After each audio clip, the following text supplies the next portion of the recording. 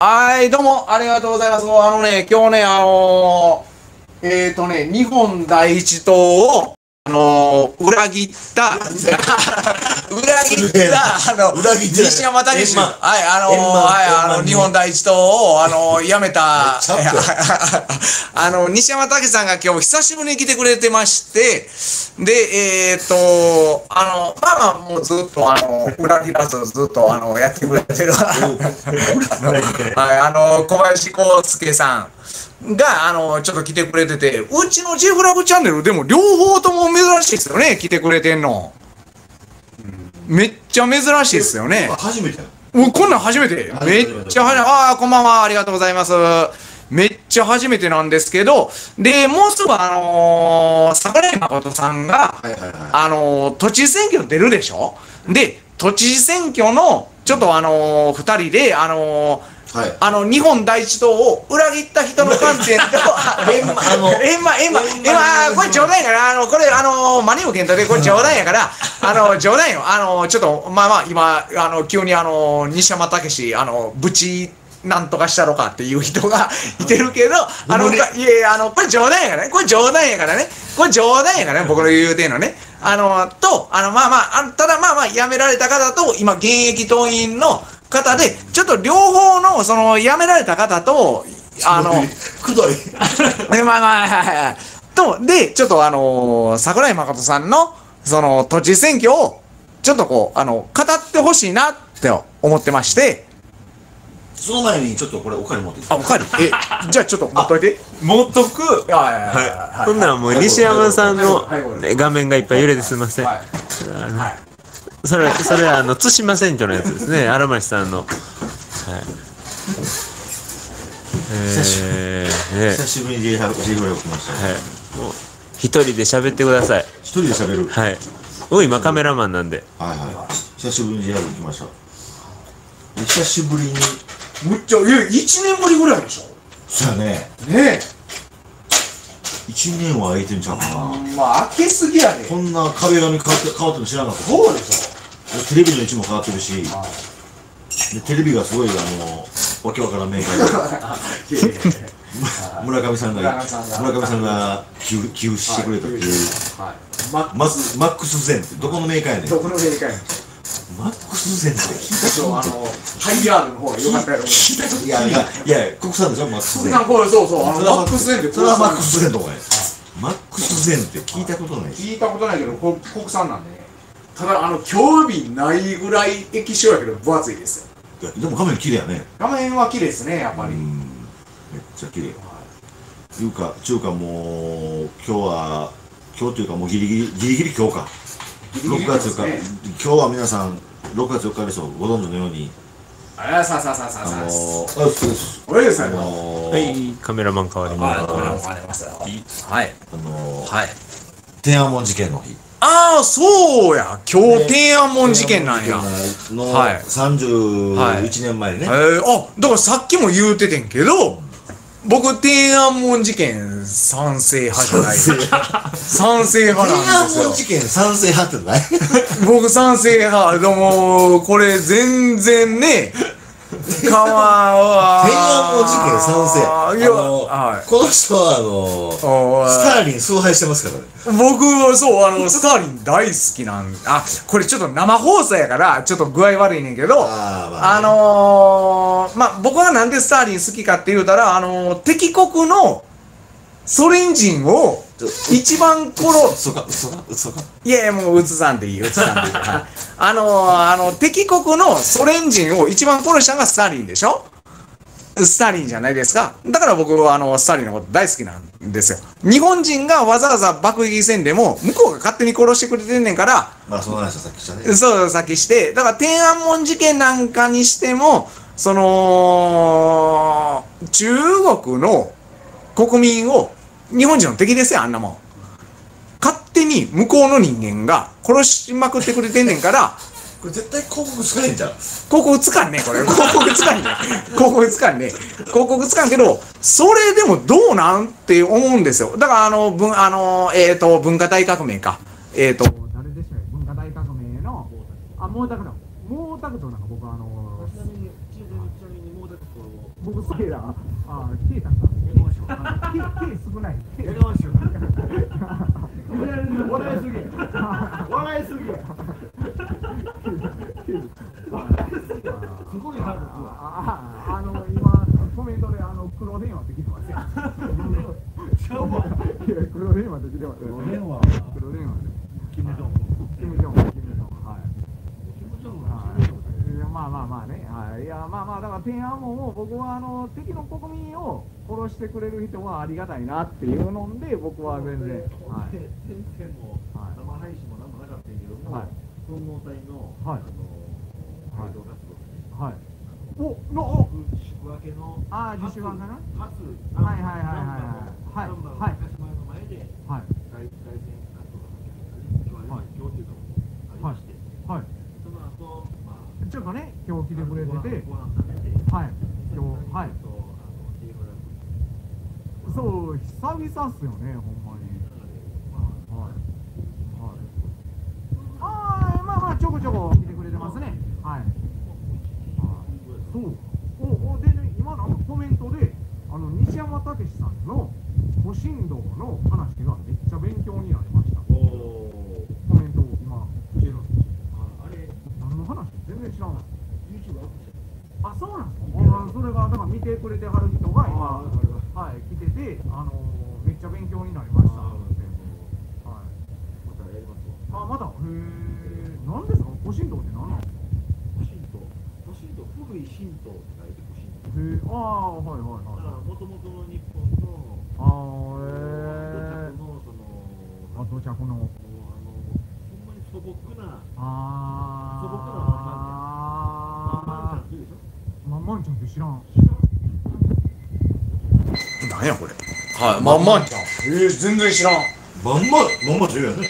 えー、知らん。まんまんちゃん知らんの？まんまんちゃん知らん。絶対知ったらんだ神様はえまんまんちゃん知ってる？知ってるよえマイクなんかかぶってない神神様にこうやってやることをまんまんちゃんってえなんかマイク聞こえへんってなんか来てるえ？えマイク聞こえないですか？まんまんちゃん知らんの？まんまんちゃん知らんこえます？今聞こえます？聞こえる？あなったなったあ聞こえる。あよかったよかった。えまんまんちゃん知らん。え？えはい。そうなんや。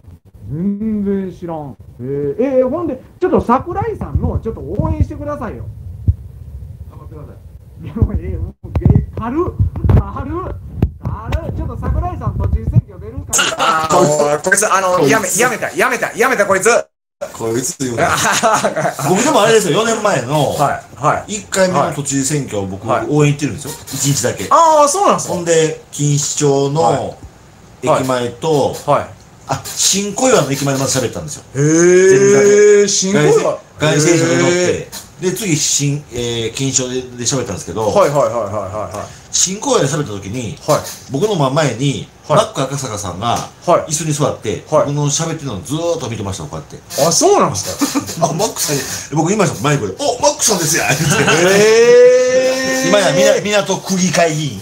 あそうなんや。あ、そうです。へえ今や港区議会議員の現役のね議員さんだったマック赤坂さんが僕の僕のあの前座の演説聞いてくれてました。あそうなんすか？へえでも西山さんの演説おもろいけどおねもろいですか？分からんけど。おもろいおもろい。うんはい。中身ないけどおもろい。いいやいや今コおメントがもろいいらんし中身ある方が嬉しい。いやいやいやいや。いやろ。はい今コメントが来たんですよ。コメントが来て僕じゃないですよ。僕の意見じゃなくて。はいはい。中身なんて書いてる？中身ないけどおもろいって。マジで？そうショックやわ。誰や？誰やそれ？誹謗中傷やろ。はい誹謗ははい。山武史をディスる放送誹謗中傷やろ桜井誠さんの東京都知事選の会見を見てどう思われましたか？あすみません見てないですあ、すみません、見てないです。はい。うん僕今日はシナリオ時間にの外線取ったんで見てすみません、あの、二人とも見てないです。もう、あの、もう、こいつはダメですわ。もう、もう、あの、ごめんなさい。二人とも見てない。いやだってね、はい桜井さんの会見は、あーあー、じゃあちょっとちゃんと見て今度あの、意見してくださいよ。時間、この時間に行けるかって行けないでしょ。まあえまあまあ、この時間、いやいや、あだからまあまあまあ、まあまあまあまあ、確かに、今だから二人とも見てないんやね。見てない。あーあ、インベーダー好きやって。インベーダー、インベーダー。うわうわ何でもいいですはいはいはいはい。何でもああ、なるほどね。あのー、もう今、あの、お前が飽きとるやんけ、インベーダーって言うてコメント来てますよ。そうもうもう飽きたから僕封印したからもうもう飽きたもう飽きた。やりすぎたえー、え、ちょっと桜井さんのちょっと都知事選挙の応援コメント、応援コメントください。桜井さん頑張ってもう軽いな、それだけいやでもほんまほんまの話あのーはい。4年前に僕さっきも言いましたけど応援に行ってね。ああ、桜井さんの都知事選のね、初めてのちょうど4年前。4年前のね。ちょうど4年前です小池が受かった時の都知事選挙ですよね。はい。はい。うん頑張ってはりましたねへえ、なんやろ？なんか西山さんが、西山さんが喋ったら、なんかあのー、悪いねっていうあれがどんどんついていくんですけど、マジで。何悪いねんって？悪いねって、あのー、これ、これが。マジで？ほんまに？ほんまに、ほんまに。いやいや、嘘嘘、嘘や嘘や嘘やで。嘘やけど。どこまでほんまかどこま今マジで？いや、嘘嘘嘘嘘嘘。いいねってつきました。いいねってつきましつくんやこれがた。はい、いいねってつきました。桜井さんの桜井さんの直してほしいところを教えてくださいよって。直してほしいところないよね。桜井さんってめっちゃ立派な。あのー的にはいあの人のこと僕好きなんですよわあ、わかります、わかります。うんはい。もう、ね、だから西山さん、よう抱かれてもええって言うてますもんね。言うてへんわ言うてへんな、言うてへんな。言うてへん、言うでもでも。個人的にもお世話になったしねああ、うんでも直してほしいところ別にないっすよね。直してほしいとこはい。直してほしいとこはい探しあるやろね桜井、あ、待って、桜井さんの好きなところ。好きなところはい。あのー気前が気前がいいね気前いいやん、あの人いい。ですよあのーようおごってもらいましたよえー、あー、たけちゃん久しぶり。あー、サルオさん来てくれてる。あこれはこれははい。これはあー。これはこれはこれはあーあーいやこいつどうでもいいわ。いや嘘嘘嘘あのー、佐野さん待ってす。ますよ。サルオさん、あ佐野さん今のー、から来てください。えーと、本部とはどうなったの？ってなんか、佐野さん今本部ね今、から来てください。待ってますよ。結局、まるまる区から。まるまるく。まるまる市まるまる区から来てください。まるまる。え、あの人って大阪市民？さあさあそうは知らないです。あ、そう。人のことは言えないですああ、そうそう。人のプライバシー。ああ、そうですね。はい。い。やそのまあまあどうなった去年の、まあなんか揉めてたなまあ揉めたというかまあちょっとね、はい。うんボールを投げてはい。結局ちゃんとしたボールが返ってこないあー返ってこないまあ僕がずっと待ってる状態ああ、な、でもそれさ、あ、あ桜井さんとは関係ないからね、あれ、まあ桜井ね。そうそうそう周りがあスマイル。はいスマイル。スマイル。はいはいはいはいはい。映りたいんやから一人分釣ろう思ってはい。もうあの、今、うぜっていうコメントが来てます ね。まあ桜井さんがまたね東京都知事選出るということでね、はもうもちろん頑張ってもらわないといけないし応援演説は行きはるんですか？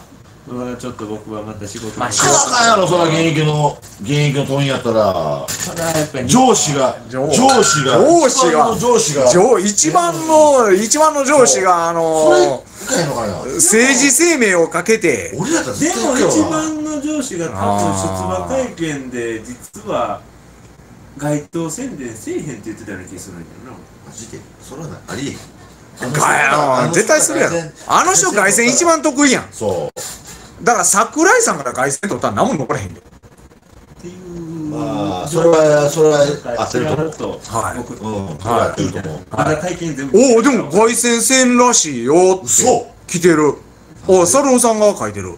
マジで？なんかネットで頑張え？何を言うてんってのおい。いう情報は僕もあそうなん？と耳に入ったから。えこのあのコロナウイルスは関係で？うんどう？ああ、どうなんやろ？ネット戦で頑張ってみる。あ、そうなん？いや、絶対あかんやろ。うん絶対いやだからあのいやもうそれはっきり言ってもそうやろ。桜井さんの良さが絶対そうそう、あいつの唯一いいところ。あいつ言う、なああ、あいつ、あいつ言うた、あいつ、あの、あの、桜井、桜井、桜井先生の、まあ先生まではないけど、桜井さんで、桜井烈士の、一番あの、桜井烈士の、あの、烈士って言うてるからもう死んでくれみたいな感じになってるけど、あの、桜井先生の一番いいところって、やっぱりあの凱旋です。凱旋のうまさじゃないですか。え、それを踏みしちゃあかんやん。それは、この前あ、コロナ、コロナ対策で言うてんねんて、やっぱり。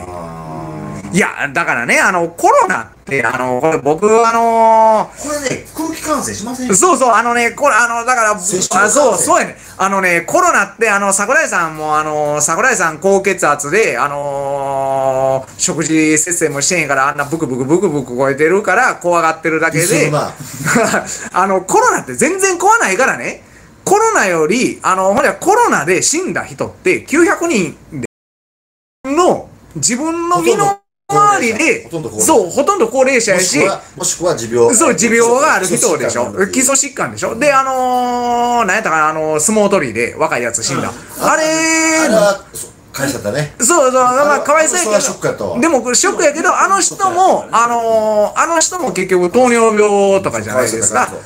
だから、あのー、いらないんですよ。ほら、あの、年間ね、あの、1万人ぐらい死んでる、そのインフルエンザで何の対策もしてないじゃないですか。で、その900人だけ死んだコロナ対策、意味わからんでしょ ?900 人しか死んでないんですよイン。フルエンザで一番でも死んでないでしょ、今あの、統計なんで、これ、まあ、1万人死んでへんっていうのもあるけあど、の、確実に出てる数字は3000。3000人ないけど、あの、ただ、その関連死も含めたら1万人。関連死含めたらね。そう、関連死含めたら1万。で、それでいくと、日本のあのコロナで900人死んだっていうのも、900人のうち外人結構いてるんでね、あれ。僕ね、はい。あのー、初めて言うんやけど、はいどうでもいい話かもしれんけど、はいはいは小学校6年の時に、はい。インフルエンザでかかってんね。はいはいはいかかった、はい。あのいきさつっていうのは、はい。あれインフルエンザのワクチンって2回受けるでしょ。はいはいはいはい1回目受けて初めて、生まれて初めて、はい。小学校6年の時に、はい。親から言われて、学校からも言われて、はい。はいはいはい。注射、いやいや、ワクチン受けろ言われて、受けたの。はい。はいはいそはい。の次の日にインフルインフルエンザだったから。ああ、まあまあまあ、あの、ワクチンインはインフルエンザワクチンは、まあ、今みたいに精度が高くなかったそう、まあまあね、であこれなんで、何だったかって言ったら、はいはいはい医者、医者が、医者が言ったからね。あーワクチン受けたかと。まあワクチン受けましたと。あーなるほど。それでなったと。ああ、なるほど。稀に、はいはいはいはい。稀に何人かに一人ぐらいそういうのがあると。はいはいはい。でも今から思ったら、はい。そっから僕ね、もうそれがもう腹立ったかはいはいはい。ら、もうワクチンっていうワクチンを一切受けてない。ああ、インフルエンザも、僕もね。でも一回もインフルエンザになってへんし。はいはいはい。そうそうそうあーわかるわかる。その工程がね、何十年もするそう、話があるから。あーそうですね。はい、そうなんですよ。いや、だから、あのー、そうよかったな、思って。そうなんですよ。で、もうあのー、そうなんですよ。僕もあの、インフルエンザの予防注射なんか一回もやったことないけど、やってるやつが結構かかったりするじゃないですか。俺やった次の日になったから。そうでしょ。だからあれ意味ないんですよ。で、40度。で、インフルエンザとコロナで言うと、そんなしょぼいウイルス以下ですよ。コロナウイルスって言うたら。結局ね、はいあのー、今回の、あのー、新型コロナウイルスのはいはいはいはい。武漢武漢発祥のチャイナウイルスだね、チャイナウイルスです。これはやっぱり未知やから、分からん部分あるから、やっぱりビビってまう。わあーまあまあ、あの、だから僕も、僕ね、一番最初ね、言うてたんが、あのダイヤモンドプリンセスあったでしょ。うん。あの時僕、ダイヤモンドプリンセス沈めろって言うてたんですよ。こいつら一人たりとも日本の血を踏ませなと。まあ、ただ、言うてたスボートを沈めると分かるけど、あの、ダイヤモンドプリンセスの人間も日本に入れへん方がええって言うてたんですよ。あれ日本人結構いたからね。まあ、おったけども、あのただ、あん、まあ、あん時って結構、まあ、未知のウイルスやったじゃないですか。まあまあまあね。だから怖いなと。今以上ほんで、そう、今以上に未知のウイルスやったじゃないですか。で、あの時、あのー安倍政権がね、やってたあれやりすぎやとか言うてるやついましたよ。ほんで、あれが、逆にね、その、あれが、あのーコロナじゃなくて、エボラがあの中では流行ってたとしたら、絶対日本人入れへんかったやろ？と思うんですよ。そうやそうでしょ？だから未知のもんやから、僕は危険やから入れんなって言うてたんですよ。ただ、だから、当時にしたら正しい判断そう、当時にしたら正しいけどだ、その、ただ、統計で出したら、統計だから毎年今ね季節性インフレインフルエンザでしょ、はい。流感、流感であれ？ね。はい。うん、旅館、はいはいあれって、はい言うたら、辿っていったら、スペイン風邪でしょ？ああ、そう、スペイン風邪なんですよ。うんそうなんですよ。スペイン風邪って、はい。5000万人殺した、1億人殺した、はいはいはいはい実態が分からへんわけだそうそうう。そう、そうなんですよ。今はい回は何、は5000万人死にましたかって感死んでへんじゃない死んでないで、900人でしょ？日本は900人どころか、900人しか死んでへんくて、で、ほとんどが持そうなん病です持病を持ってるそう、持病を持ってる人高齢者が高齢者じゃないですか。で、それでいくと、ほんじゃ、あのーコロナで死んだ人よりも、あの、アホみたいにね、なんかあのー緊急事態やとか言うて、緊急事態やとか言うて、あのー経済的に死んだ人の方が多いじゃないですか。そう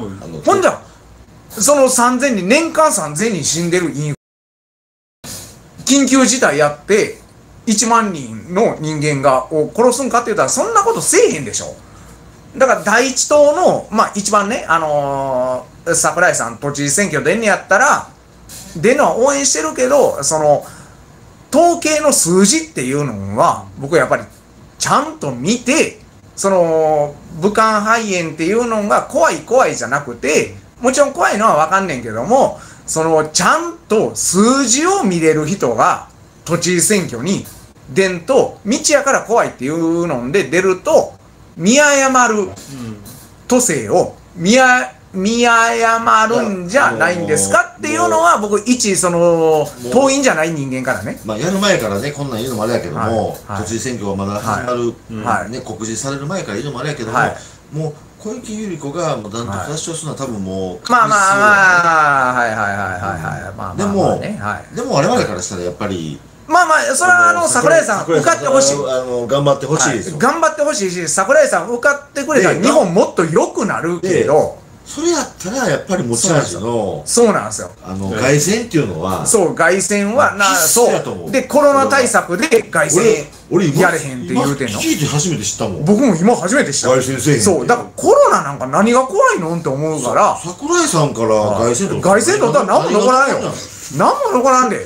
あいつから凱旋取いやだってあの人そうそう。そうただのいやただのあのただのデブやであおいやただからもう実際僕も緊急事態宣言中に外戦車で何回も講義行ってますけどまあだからやなり方はあると思うだから外に出へんかったらいいですよコロナが怖いっていうんやったら。まあまああの人は高血圧とかもあるけどただ自分が持病あるからって人にもそれ要求すんなよと思うんですよ。自分が持病あるからああそっかそうそうあの人は高血圧やからね。あの人は高血圧やし、そう、手術も何回もしてるから、あの人が確かに感染したらあかんけど、ただ、それはあるな。それはあんねんけど、ただただ、不節制してたやつが、節制してた人に同じことを要求すんなっていうのはい僕やでもねは、あの人そんな言うほど不節制してないよ。俺の知る限りではね。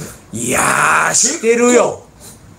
宴会行っても切り上げ早いしいやー、でも僕からしたらだいぶ不節制ですわ。かな僕そんな朝方まで飲むとかそんなないじゃん。もうそろそろ帰るよ。解散って感じで。ええ時間でパッと切りげるし。ただやっぱりあの見てるとその食いすぎ。食いすぎやし。何を？あの飯食いすぎ。あそうかそっちか。そっち。あのあああああああのはい。はい。ああっちじゃないですよ。何も言ってない。ああっちじゃないですよ。はいあのこれ一応生放送やから。あーそうかはいはいはいはい。あの今ちょっとポロッと言いそうになったけどまあ、何も言ってます。85人ぐらい。この時間から85人。結構はい。あ荒牧さんとひとりさん応援行きますよ。もちろんもちろん。はい行きますよ。ぜひ、あの人が行けば。もちろんもちろん。今やから見ても、まあ、コロナウイルスで自粛やってそうテレワークやって、はい。はい。自宅勤あんな一番必要ないからね。いやほんでもこの日本の経済っていうかこの国土根底を支えてるのって普段パソコンとかそんなスカイプミーティングみたいなんではい。できる人間がこの国の基礎を支えてるんかっていうそう、どんだけおんねんって言うたら、結局、あの、ほんじゃ、あのー皆さん、保守の人、自衛隊好きでしょ、自衛隊の人がパソコンで支えれるんかって言うたら実際、あのー現場で働いて、あのー敵が来た時にやる現場の人でしょ？だから逆に言い方したら、多くの今の、まあ、先進国含めてね、はいはいはい。まあ、特に、まあ、日本ね、はい。先進国やから、はい。多くの部分の大企業に勤めてる人の仕事が、はい。パソコンだけの仕事ない。まあまあそれはね。ではいオフィスに行って触るのと、はい。家で触るの別に一緒なわけ。ああまあまあそそれがれはね今回証明されたわけですよ。だあー。から、愛月さんとかみたいに、小林君もそうやし、はい。そんなもん家におったら仕事できへん。仕事できないですよ。現場に行ってやらなあかんはい。相手があるってはいはいはいはいはい。いう仕事もたくさんあるわけですよ。はいはいはいで結局支えてるのってそこでしょ。もちろんもちろんもちろん。道路作る人もいるし、ビル作る人もいるし。で結局日本のやってることもアメリカのやってたこともそれはそれと。でも多くが、多くがはい。大企業に勤めてる人の多くがはい。パソコンを朝から晩まで触るだけで仕事が成り立つ人なんですよ。うん。ああでやったらわざわざ都心の例えば大阪のこのまあまあまあまあ。北も梅田もそうやしはいはいはいはいはい心斎橋の一橋のとか、はいはいはい。例えば東京で言ったら銀座とか新宿とか都心のね、はいはい渋谷とかのはい。わざわざ高いオフィスを借りて、ああまあやらんでも。やらんでも、はい。そのリモートワークでできることがまあまあ今できる。まあまあ確かにできる職種もあんねんけどだからそれはそれで、それを別に何もどうのこうのんでも、それはそれで良かったわあーただでもやっぱけです。り、ね、分かったから。た分かったけど、でもその人らが家に引きこもってるとやっぱり出る方が僕はええんちゃうの？とはいや、出たか出たらいい。あーまあだからあのー、だから逆に言えば、その、都心に家を構えるのは無理やと。だから、郊外に家を買います、建てます。片道例えば2時間かかります。往復1日4時間。はい4時間。月にはい20日間、にまあ、25日間行くと死人が。はいはいはいはい100時間ほどをはい通勤だけに費やすわけでしょ？しかもその中満員電車でこう寄られてってはいはいはいはいはい。それがぜ全くなくなってその分の時間が次の仕事に使える。あー。プラスアルファオフィスの賃料もなくなる。まあなくなる。いや全部じゃないですよ。はは全部じゃないですよ。もうまあまあもちろんね、うん。ただ僕がね一番テレワークの問題やなと思うのはその人と同じようにそのテレワークで顔もわからん人間を顔わかるあまあ顔はわかるかもしれんけどそのなんやろそのリモートの中でやってる人間を同僚と思って同じ仲間と思って同じ会社を成長させていけるかと思うと僕行かれへんのんちゃうかなと思うんですよ。同僚っていう意識がだからねそこがそこがやっぱり愛月さんも保守なんよ。保守っていうのはとかくやっぱりね長く続いたものは正しい。長く続いたものはやっぱり残したい。それをまあ急な変化っていうのはやっぱりまあまあそこで嫌いです、はい。うん。す。ごいこう抵抗があるわけです抵よ抗あります。はい。だからそう。まあまあそれが悪いようにな我々の先人はそういったことをずーっとやってきた。あーやってきたわけよ。建国からね日本の神武建国からずっといろんなことがあったわけよ。まあまあね。昔当然コンピューターもないし。ああまあまあそうですね、ああそうそう。その話でさっき僕と西山さんがなんかあのどつき合いになりそうになりましたもんね。お前あのねっていうのいやどつき合いになりかけたん違うてはいはいはいはい。あの愛月さんはどつき合いでも俺がどつく。そうそうそう。はいそうそうそう。西山さん気短いね言われて。西山さん気短いなと思って。そうあそうそうそう。あのずっとこの話してたら絶対どつくわって言われたから、ああもう。もうそうそうやめよう言うてあそうそうやめようって言うて、ああいやだから僕まあまあねだから保守の悪いところでもあんねんけど確かにね、そのただテレワークいや僕はテレワークを何も推進してるとかはいはいはいはいはいはい。じゃないですよ。ああおおただはいはい客観的に今今そういう時に来ててはいはいはい。気づいてしまったと僕は僕はやっぱり不動産不あー動産の人のでも不動産の人からしたら余計オフィスス借りてくるマニマイナスじゃない。マイナスですよはい。うん。はい。そう。はで不動産価格も下がるしはい。土地のそうでしょ？下がります一番マイナスやねこれからどんどん下がる。はい。うん。本当やったら本来ならこ今年はい。ね間もなく東京オリンピックがあってあもう一番ウハウハのめっちゃウハウハの頃だったのにはい。もう民泊もダメはいはい。ホテルもダメと。はい。うんなったからもうガタガタに不動産っていうのは経済の根本なんで。そうそうでしょ。うん。うんいやだからあのテレワークってやりだした。ただ僕が言いたいのはそれに気づいてしまった。よああまあまあ今回のでね。で気づいて気づいてそれでプラスの部分が何もあの物事には全部に何もかもがマイナスなわけじゃないから。あーまあまあまあメリッねトもあればデメリットもあるまあ確かにそれは分かるんですけどね。テレワークは僕は好き好き嫌いだから僕ははいはいはい経験がないから、ああまあまあ。そういう職種じゃないから、はいはいはい。まあまあね。分からんけども、はい。我々ね。そう、はい。でもテレワークをはいしてる一定の人がいるわけですよ。あそれによってってそのメリットが今後証明されてくると思うメリットは。ないやそれは鉄道会社は収入減ると思う。収入減るし、はい。電車乗るしね乗る人減るから。そうそう。やったら余計あでもでもの過疎地域はどんどんでも満員電車のストレスはかかあの、はい。軽減される。はい時間も減る。でも限界集落を集落はどんどん増えていきますよ。そんなんもともとやってへん？その都心のあれに。いやだからあの都会の活動によってね都会の活動にはないけどそれであのーより我々が言ってるのは都会の活動の話だからね今。でもあの田舎の方のほんじゃ電鉄会社なんかもっと潰れていきますよ。だからもう田舎がどんどん過疎になっていきますよ。いや僕は反対だと思う。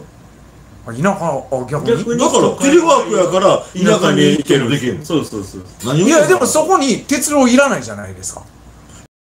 ですかそれはそれは自家用車だけそれはそれはロックフェラーの論理よあそれアメリカ人の論理 えー。でもまあまああのーわざわざテレワークやからって言うて今度は対馬に行くかっていうからいかんでしょ。僕僕あんまり好きちゃうけどはい。僕あんまり好きちゃうけど、はい。ジャパネット高田ってあるじゃないですか。あー。俺ははっきり言います。あんまり好きちゃう。あ俺は西山武史派って。あああります。はい。ジャパネット高田のはい。あのが長崎の市にはいはい本社。置いたまはいはいはまい。ででスタスタジオも自前のスタジオも作ったはなんで言うたら、はい。ふ今までやったら、わざわざ大阪なり東京なり大都市に出てきて、本社を構えてやると。それを、もう佐世保のまんま、はい。あ佐世保って地方都市ですわ。はいはいはいうん、でも、佐世保に本社を置いたまんま、そこに自前のスタジオを作っても、別に何ら遜色なくやれてるわけ。まあまあまあまあね。年間何百億売ると。はいはいはいはいはい。もうその時点で証明されてるわけよ。ああなるほどね。うん、だから、このテレワークとか今のこの時代変革が進めば進むほど、はい。地方が潤うのよ。そうよ、あなた何言ってんの、えー。今までのままの方が東京、大阪の一極集中なんよ。絶対うん集中だだって言ったら老後田舎暮らし例えば渋谷とか新宿にが銀座へ行かないと仕事できなかったんよ。そうそうそう銀座や新宿や渋谷にわざわざ行かな仕事できなかった人が別に群馬にいようが北海道にいようが、はい京都にいようがどこにいようが仕事できるわけよ。あの群馬にいようがあの長崎にいようが田舎であってほんで田舎も何も関係ない。で病気した時とかどうするんですか？病気した時にあのそれは行政の仕事よ。でもその一人のためにでっかい病院作られへんじゃないですか。そこに人が集まれば集まるわけないやん。集まんねや住民税を取らい。や集まんねやったらあの今の集まってるところにちょっと待ってあなた。はいほな歴史を歴史を見ましょう。はいはいはいあのね、京都は栄えてる、京都は千年の都です。はいはいはいはい。その頃に、はい。江戸なかったんですよ。ただの湿地帯やったわけですよ。そこを埋め立てて、今やもう世界にカウンターの東京があるわけ。はいはいはいはいはいはい、はい。こんなもんね、100年後ね、東京が今、今見、はい、栄えてるかか。栄えてるか。わからない。ひょっとしたら100年後は、長野県が栄えて、そこがもう首都になってるかもしれんし、200年後には、いや、でも、長崎かもしれん。ただ僕、それで言うとすげえ無駄やなと思うんですよ。無駄なことない。ただ、ほら、移動が起こる。変革が起こるたびに経済は潤うの。いや栄えてるところが栄える方が無駄が少ないでしょわざわざあの無駄こそは経済が潤潤うのよ。ああなるほどね無駄を省く方が、そうそうそう経済は生まないのよ。お金生まないのよ。そうやったら江釣さんはテレワークをしてる方が無駄がないからいいってことになって結局論だからそっち行ってまうから。だからあれですよ、時代時代、時代時代によって栄える産業は変わります。例えあば、あの、球団を持った昔は鉄道会社やったやん。ああそうですね。ほとんど。はいはいはいはいはい西武にしろ、はいはいまあ阪神今もあるけど、はい。あと南海、なんはいはいはいはい。西鉄もあった、はいはいはいはい。国鉄もあった。はいはいはい。もうこ鉄道会社が球団を持つ。あー今や IT 企業でしょ。はいはいはい時代によって変わっていくわけじゃないですか。なるほどそうあーあ無駄が多い方が潤ういいこと言うな無駄がなくなったら経済は終わります。あーだから、あの、出張なんて最たるもんよ。はいはいはいはいわざわざ無駄、わざわざ交通費使って、ホテルしホテル代泊まって、そこで宿泊が潤う。はいはい鉄道を切ったところがお金落とします。はい。ああ、あの、今僕ブレてんでって言われて、ブレてるんじゃなくて、僕はあの、相手の意見を聞いてるんですよ。ブレてるんじゃなくて、あの、相手の意見をちょっと聞いてるだけでね。はいはいはい。全然ブレてはないですよ。だから今はい。回の、あのー、相手の意見聞くことってやっぱり大事なんで、ブレてるんじゃないやくてね。相月さん全くぶれてへんけど、はいはいはいはいあの僕、はいあのーはい今回の、はいあのチャイナウイルス、はいはいはいはい。武漢ウイルスが、はい僕はね不謹慎かもしれんけど、さ亡くなった方とかあは、それは哀悼の意を表します。はいはいはいはいはい。日本だけでも900人ぐらい亡くなってますし、そうですね。死の思いしてる方もいるしはいはいはいはいあのーそこはあの大変やったと思いはいはいはいはいます。はいはい。け、ど反面全部が全部悪かったことじゃないと思うんですよ。あでー怒るべくして起こった遅かれ早かれ起こったことあーまあまあまあまあまあね。チャイナがすることやから、はいはいはいはいはい。タイミング的には僕良かったと思うんだよ。これがずれてる方が、1年、2年先にずれてる方が、ああ、ダメでした。もう今のタイミングは僕は良かったと思う。僕個人的にへは。ーああ、個人的には。うんへえ、え、え、それ、ちょっと、え、ちょっとどういうことですか？げあの、良かったっていうのは。良かったというか、だから、あの、脱チャイナですよ、だからそこは。ああの時間が 経てば経つほど、チャイナはもっとああ、もっとはりびこってくる。そう。チャイナが今以上に力を植えつけるああ、なるほど、なるほ前に、ど。ああ、なるほどね。ああ、だから僕はもう今日の外線で言うたけど、もう脱チャイナや。やし、ああ。早ければ早いなるほどね。だから今回のウイルス騒動は、悪いことだけじゃないと僕個人的には。不謹慎かもしれない。これに関しては賛否いろんなあって、それはちゃうよっていう人もいると思うけども、僕個人的には、はい。何も悪いことばっかりじゃないと思う。亡くなった方は申し訳ない。返したと思う。あーあー、なるほど。でも日本でそん。なアホみたいに、アホみたいな生に死んでるわけちゃうしね。そう、死んでるわけじゃないのに、なんでアメリカと同じような、その、部下の封じ込めをやって経済殺したんかなっていうのは僕は一番の、いや、僕もそう思うよ。はい、間違ってる、あの、アメリカみたい、アメリカとかスペインとかイタリアみたいに死んでんのやったらあのやり方は、まあ成功。えせあのやらんとあかんことやなとは思うんやけど、その日本ってそんなに死んでないじゃないですか。900人じゃないですか。でインフルエンザまあ少なく見積もって3000人でしょ、年間少なくとも3000で3000人でしょ？ほそのまあ今の3倍以上死んでるわけじゃないですかほんじゃそのたんびに経済封鎖すんのんと。経済殺すのんって言うたらどっちの方がマイナス大きいねんって言うとコロナをでもっと言ったら、はい。今回900人亡くなった方は新型コロナウイルス、いわゆるね、武漢ウイルスで直接的に肺炎とかで亡くなった人をカウントしてるわけですよ。そうそうでも、はいはいはい今回のことでマスクをする、で気をつける、手洗いを励行するので、本来かかってるはずそうそうそうインフルエンザは僕そっちでそう亡くなってない人もいるわけそう、やっと、まあまあ、確かにね。はいで、それともっと言ったら、都市はい部、都市部はどうなのか分からんけども、はいあの、自粛で外に出なくなったから、はいはいはいはい。交通事故も減ってるわけよ。はいはいはい、そうですね。そういうのを全部数値化して比べなあかんね。こういうものやったらひょっとしたら、あー。総裁されるかもしれんし、ひょっとしたら、もともとあった生活の方が人死んでたかもしれんし、分からんし、あーまあまあまあね。数値化しないと。ああ、数値化。その一部分だけを取って、こうだこうだっていう、それがもう、あの、地上のまあ既存メディアに乗っかってる、その時点で僕はもああ、う、もう。思考停止してるんちゃうかと思うんですよ。ああ、なるほどね。もうちょっと想像力働かせてね。はいはいはい確かはゴールデンウィーク期間中の死亡事故はゼロやったんちゃうかな。渋滞が大阪い。いや、でもそれでいくと、ちょっとあのーゼロはないと思う。はい。で、論点ずらすと無駄が多い方がいいんでしょ？じゃあ無駄が多いっていう無のは、駄が多いというのは、それは経済に限ってだ。からあのゴールデンウィーク中に事故が少ないっていうのは無駄が少なかったからなんですよ無駄が多いから事故が起きてもっと潤ってるわけやからでこれ誰も動かんところに国土強靭化ってできひんでしょもちろんもちろんもちろん。できひんでしょでそれができるから国土強靭化ってなるわけじゃないですかだから、その時々のやっぱり対応じゃないですか。あ今はこれせなあかん。あーだからインフルエン仕ザと事でも、仕事でも優先順位でしょ。あーまあ例えば今まあまあまあ、ね、電話でね、なんはいはいはいか、お客さんがいてせなあかん時に、お客さんほったらかして違うことを事務処理しなしないでしょ。まあまあまあまあね。あ、これね、ちょっと今コメントでね、ちょっと拾いますけど、インフルエンザと比べるのはどうかな、特効薬がないじゃんって言うてるじゃないですか。インフルエンザ特効薬ないじゃないですか。インフルエンザ特効薬なくて3000人。でも治療薬は一応あるじゃないですか。で、その、武漢肺炎って特効薬も、その、何もない状態で900人しか死んでないんですよ。で、インフルエンザって一応治療するとかワクチンとかあんのに3000人し、いや、まあ、ただ900人っていうのは数ヶ月だからね。あまあまあ、すぐ、まあまあ、今後どうなるかは分かんないですよ。その、一応、で、まあまあ、確かに、あの、3000人のメンバーまあまあまあまあ、365日なんで。でまあまあ、ただあれ少なく見積もってなんでね。そうそうそうそう。で、あのーだからそれ言うと、確かにインフルエンザって、この時期になって、インフルエンザにかかって死ぬやつ、もういないですわ。でも、確かにコロナは今、でも今死んでる人、感染者は聞くけど、今死んでるのってもう数人ぐらいでしょ。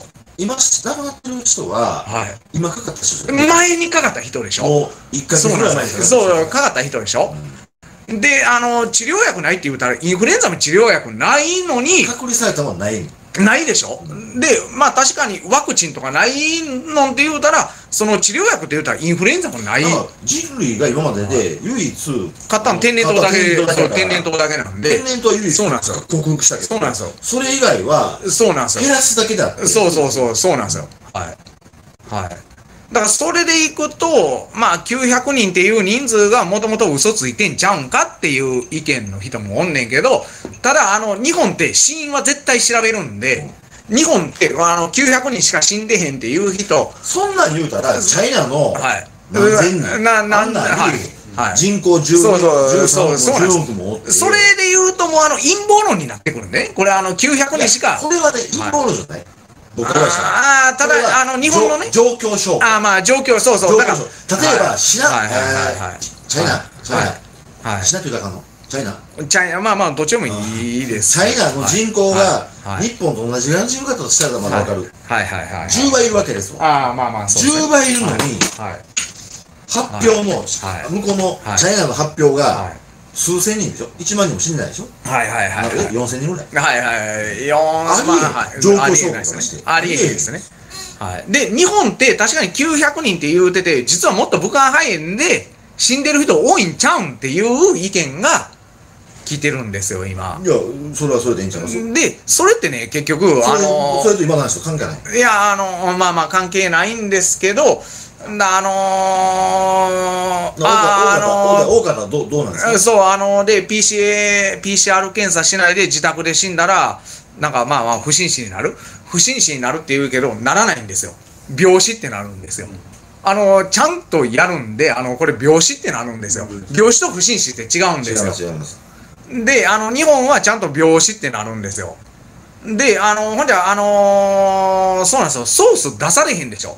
その、900人以上死んでるっていうソースどこなんて言うたら、結局噂話でしょ。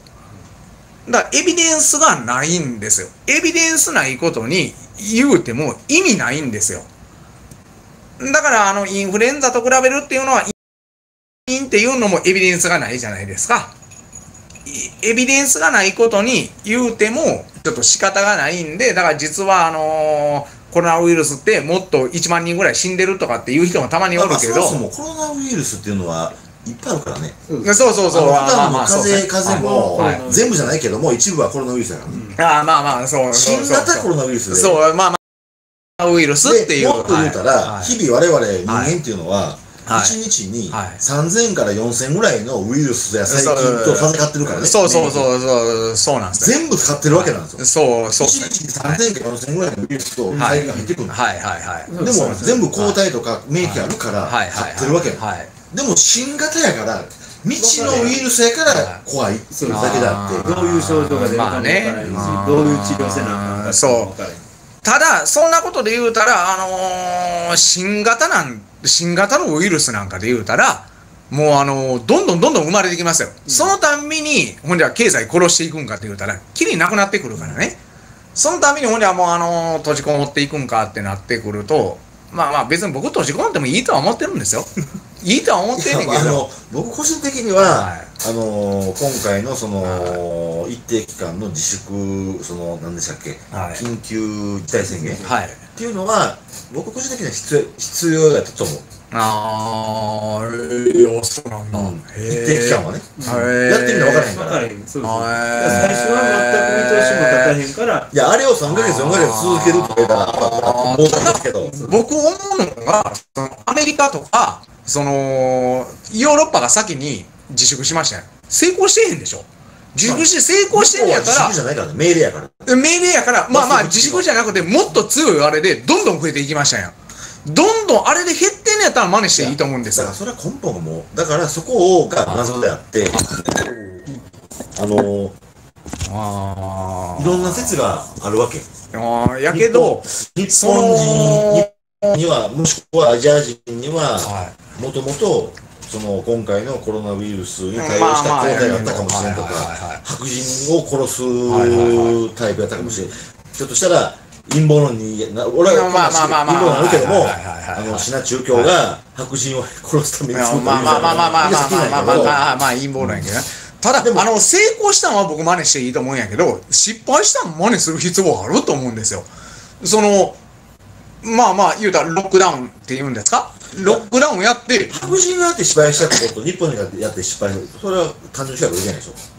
やけど、その、相手が、例えば、その、ミスしたことを、だって、まあまあ、見てたら、ニューヨークがロックダウンして、やあれって、は明らかに遅かったからね。やけど、まあ明らかに遅いって、早い遅いのタイミングってわからないじゃないですか。で、それで明らかにロックダウンしてからぐんぐん伸びていってましたよ。感染者と死者が。それを同じ、いや、はっそきり言。れそれはニューヨークは実は感潜伏期間があるからその間に感染みんなしてえあのね、ただ潜伏期間って平均5日まあなんですよ。はっきり言わせてもらいますわ。平均、はい。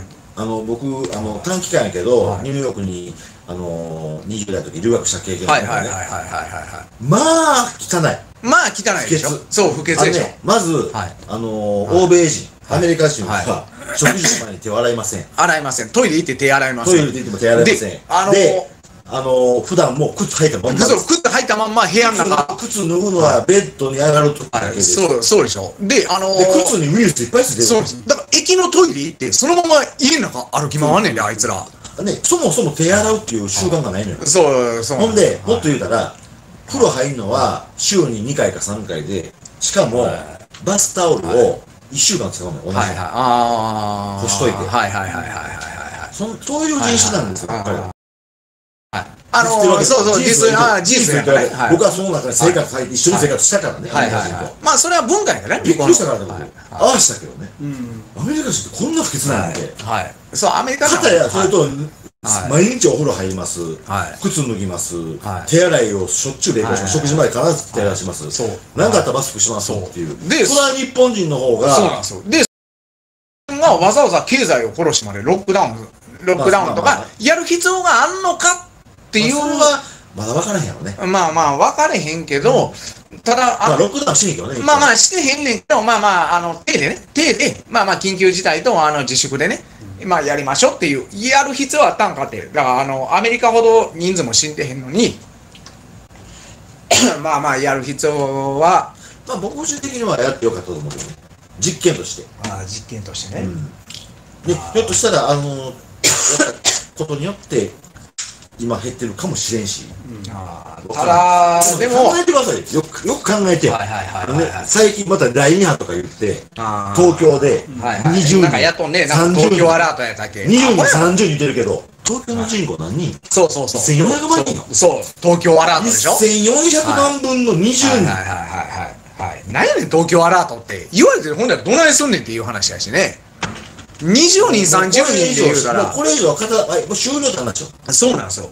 まあそうなんですよ。まあかかる人はかかるし治る人は治るし。そうそうそう。いやそう毎日。はい。そうそうそう。はい。5000人出ました6000人。1そうなんですよ。万人出ましたとかはい。でで、毎日ね、20人、30人死んでいってんのやったら、逆に東京の人口が200人300人って分かるよ。そう、あーそう、200人それやったら致死、そう、200そうなん人。30人ですそう、それやったら致死率10%やか、ら。るよ。で、1300人おる中の、あれ、そう。1400万人おる。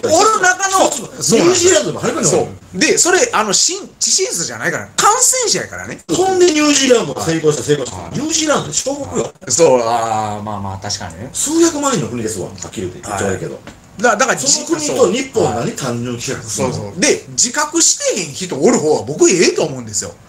自覚してへん人って、要は、あの、予防注射を受けてるのと一緒やから、僕多分もう感染してるんですよ。まあ、ただ、僕、スウェーデンのやり方とか、ブラジルの大統領がアホやと思うけど、僕、スウェーデンのやり方が一番正しいかなと思うけどね。ね。結局、結果的に、だからあの、スペイン風邪が流行った時あったじゃないですか。スペイン風まあ邪、その時俺知ら、あの、僕あの時、僕あの時、あの、戦争行ってたんですけど、はい、あの、はい、僕今180歳なんで、あの、行ってたんですけど、あの、当時、あのー体制の中で若い子がどんどんどんどん死んでいって、で、その、えっ、と、アメリカの、じじいだけ助かったんです。で、それはインフルエンザにかかってたから抗体を持ってたた。だ、あの時は戦時中やからね。まあまあ戦時中なんですけど、で、ほんじゃなんでスウェーデン、なんで、もうスペイン以外がみんな隠し隠しそう隠してたからなんでほんじゃスウェーデンが今それやってるかって言うたら、スウェーデンってスペイン風邪の被害がなかったんですよ。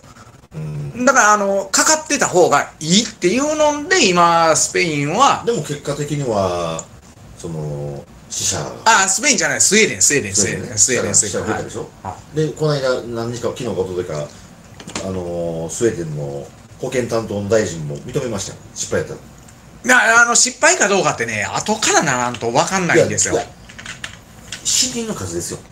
あーまあまあ、確かに、あの、感染者数じゃないの？よ。あの、あの、スウェーデンは、死者数。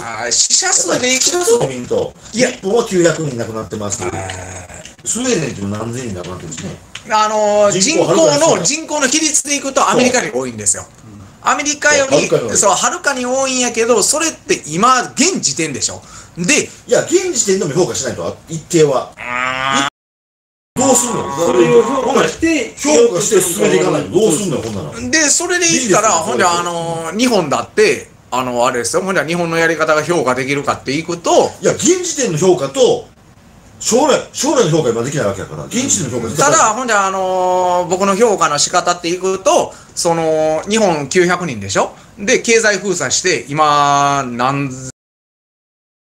何千人以上自殺してるって言うんですよそっちの方が大きいでしょ？といや、それは、でほんでスウェーデンの場合でいくと経済の自殺者ってほぼいないんですよそっちの方が大きいんちゃうの？と僕は思うんですよただ、コロナだけの死者たがだ自殺者っていうのは、はい間接要因だって。まあただせやけどほんじゃそのコロナの医学的な。医学的なんじゃないですよただ。まあならんねんけど、ただ、トータルで考えんとあかんのんちゃうのと、国力で考えんとあかんのんちゃうの？んと僕は思うんですよ。ほんじゃ、その、いが、あの、病死だけじゃなくて、病死じゃなくて、その被害って言うたら、国全体で考えんとダメじゃないですか。それは確かに、その、コロナで死んだ人の数はスウェーデンは多いかもしれんけど、多分これ見てる人は、あいつきさんの顔見たいと思うの。いやいや、もういいや。いや、なんで喋らへんねん。いや、ただね、僕が思うのは、その、コロナの人間だけでか、あの、死の人間、犠牲者っていうのは、コロナで死んだ人間だけが犠牲者なんかっていうのを僕言いたいんですよ。だから、スウェーデンっていうのは確かに、コロナで死んだ人はアメリカの致死率よりも高いんですよ。でも、経済の苦境になって死んでいった人ってスウェーデンではほぼいてないんですよ、今のところね。経済を動かしてるから、だから、それでいくと、あの、どっちが正しいのっていうのって、国力で言うと分かんないじゃないですか。だから日本って今、あの、その、コロナで死んだ人間がね、900人おるけども、今、んコロナであれ、経済を止めて、200社以上潰れてるのでしょで、その中で止めて、ほんで、経済区で死んでいってる人、めっちゃ、まあまあ、統計取ってんが知らんけど、まあ、コロナで死んだ人より今多いんちゃうんかって。あいつがの言うてることは俺も一応商売人の端くれとしてわかる。わかるでしょ？めちゃめちゃわかる。そうそうでしょ？めちゃめちゃわかる。スウェーデンって確かに、めちゃめちゃわかる。コロナで、コロナで死んでる人はアメリカよりも多いかもしれんけど、でも、経済で死んでる人間はアメリカよりすごいんですよ。ほんで、そのトータルで、国、国力っていうのは、そのトータルで、コロナだけの死者じそゃないやろ？の、その根拠はって書いてある。その根拠は？その根拠はってもうその通りじゃないですか？これね、GD 消えてきような、これ。ああ、どんどん消えて。だからその根拠ってもうそのものなんですよ。あのー、コロナの死者だけが被害者じゃないんですよ。コロナでそらそうやそらそコロナで死んだ人間だけが被害者なんかって言うたらコロナで経済自粛して死んだ人間も被害者に含めたらあかんでしょ？もちろんもちろんもちろん同じ被害者じゃないですかなんか今コロナだけで死んだ人間が被害者になってるじゃないですか。でもそのコロナのために死んだ人間って言ったらほんじゃ自殺者は減ってますって書いてあるの？いや自殺者増えてるんですよ。自殺者増えてるんですよ。これもう統計で出てるんですよ。あの、まあ自殺者増えてるんですよ。あの不景気になったら絶対自殺者増えるから。あの自殺者減ってないんですよ。今増えてるんですよ、うん。それはそうやと思う、はい、自殺者今増えてるんですよであのー、これもう統計で出てんねんけどあのう日本の持病を持つ人との統計で自粛。は消えてきようなこれじー、でどんどん消えていくうん。んであのー、消費税上げたらどんどん自殺者増えていくんですよ。あのこれもう統計で出てるんですよ。あの消費税8%から10%にしたら自殺者増えるんですよ。ダブルパンチやもん今回。ダブルパンチなんですよ。日であの減ってるっていう人ちょっと出して。自殺者あの出して統計出してで統計出したら増えてるんですよ。でもう今まだコロナの自殺じゃなくて統計出てへんけど今あのー、統計出てへん死死者ってめっちゃ増えてるんですよ。であのー、コロナの自殺者ってあのー、今まだ2ヶ月じゃないですか。ちょちょ読んで見えへんって言っちゃって。消えたあのー、いや、だからあの、今、あの、自殺者減ってるって言うけど、いたいた。自殺者の、自殺者減ってますって書減ってるって言うけど、自殺者の統計って年に1回しか出さないんですよ。なんで知ってんのっていうのを、いや、お前絶対知らんやろと。そうそう。あの、自殺者の統計って1年に1回しか出さんのに、お前なんで知ってんの1月から3月のすぐ消えんねんほら で、絶対増えます。絶対増える。あの、不景気になったら増えるのって、もうこれ、もう常なんで、で、900人しか死んでへんのでね、その、始まってから3ヶ月、4ヶ月で、900人しか死んでへんところで、その、経済を止めたら、自殺者絶対増えるんですよ。で俺ねあの一応こうやってやってるから意見ぶつけた方がったけどはいはいはいはい。俺は果てしなく愛月さんの意見に賛同してる。俺もやっぱり経済は大事だと思う。そう、そうなんですよ。やっぱりは。い現代は現代これが100年前と違うよいや、あの、100年前とは殺し合いやからね。今って経済が強い人間が今今覇権握れるんですよ。今経済っていうのはもうもう血液やから。そうなんですよ。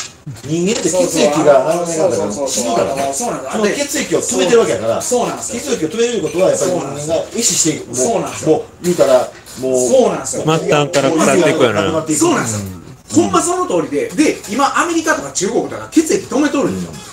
じゃあ日本はその血液を動かす方が日本は覇権握れるんですよ。相手と同じように血液止めたらダメなんですよ。一方で未知のウイルスっていうのが勝ちすぎてあーあー、まあまあまあまずはこれをはい。克服しなあかんっていうところに重きはやっぱり行行政はね、まあまあ政。治家は、はい。これ政治判断やから、まあまあまあ。これ医者が決めたわけちゃうからね、はいはいはい。医学会が決めてるわけちゃうから、はっきり言って、まあまあ確かにね。医学会は意見するだけだって最終的な判断するのは政治政治やから、まあまあ政治やからね。うん行政だって、ただね、その、僕、今後強くなっていくのは、スウェーデンとかブラジルは強くなっていくと思うんですよ。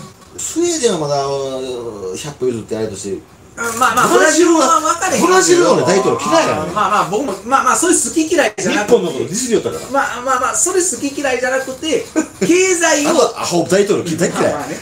はい。ただ経済を止めへんっていうのが、よそが止めてるのが今チャンスなんですよ、日本は。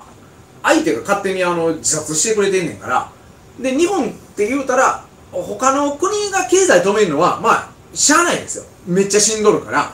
めっちゃ死んどるからしゃあないけど、めっちゃ死んでる国とめっちゃ死んでへん国がなんで同じように経済止めたらあかんねんっていうのがもう大前提としてあるだからあのんですよ。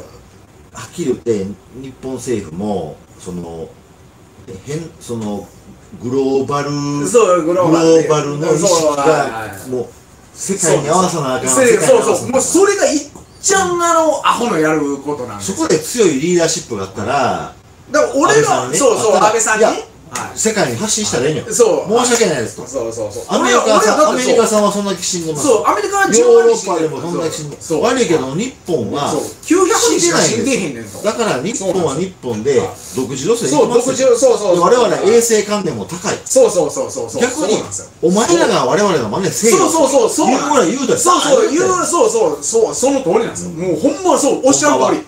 そうでもそれができきないまあだからそれでほんで日本人もあのねそのこの保守の人も見てくれてるけどいやいや怖いからとかいういやあのヨーロッパと同じようにすんなと。ヨーロッパはめっちゃ死んどんねん。日本900人しか死んでへんやろと人口比率で言うてさっきも言うたけどはい。欧米人。汚いよ。汚いよ。あのあなた方と違うんよ。ほまに食事の前に手洗う文化ないしはい、で食事のでそうあの欧米人の一番あの食事の前いただきますっていう文化は他にもあるけれどあの食べた後ごちそうさまでしたっていう文化はあのあいつらないからね。あの食べた後あの食べ散らかすのがあいつらの文化 なんでね。これ日本人と絶対違うと思う。食べた後ごちそうさまでしたっていうのはその後後片付けするから。後片付けするっていうのが一番そういうあの病原菌が散らばっていかないんですよだからそこをね、あの同じようにね、で、あのイタリアとか、アメリカとか、むちゃくちゃ死んでますやん。人口比率にしても日本より死んでますやん。そこと日本の900人、これ1億2000万人おるところで900人しか死んでへん。同じように、その、緊急事態宣言出してやったらダメでしょと。もうそれ、あの、護送船団方式ですやん。一番弱いやつにくっついていくっていう。今だら日本はガンガンに経済回していったら、派遣握れたんですよ。それをミスミスチャンス逃したのが、安倍政権なんですよ。安倍政権と、安倍政権とあのアホの、アホの国民ですよ。アホの国民ですよ。そんなもん。そんなもん。ほんまに。そこにね、くっついていくから、そこでもっと日本、だって、あの、数字が全部物語るんですよ。僕はあの一応そのねあの会社経営もしてたから数字でしか僕は判断しないんでね、数字が日本があかんかったらそれはあの真似しますよ。でも数字がよそよりもいいんやから悪いやつの数字に合わせるっていう話なんですだからあの成績が50点しか取ってへんで日本が80点取ってる。あこれ見るその80点のやつが50点のやつに合わせるかっていうね頭おかしいでしょ。でこの数字を読まれへんやつが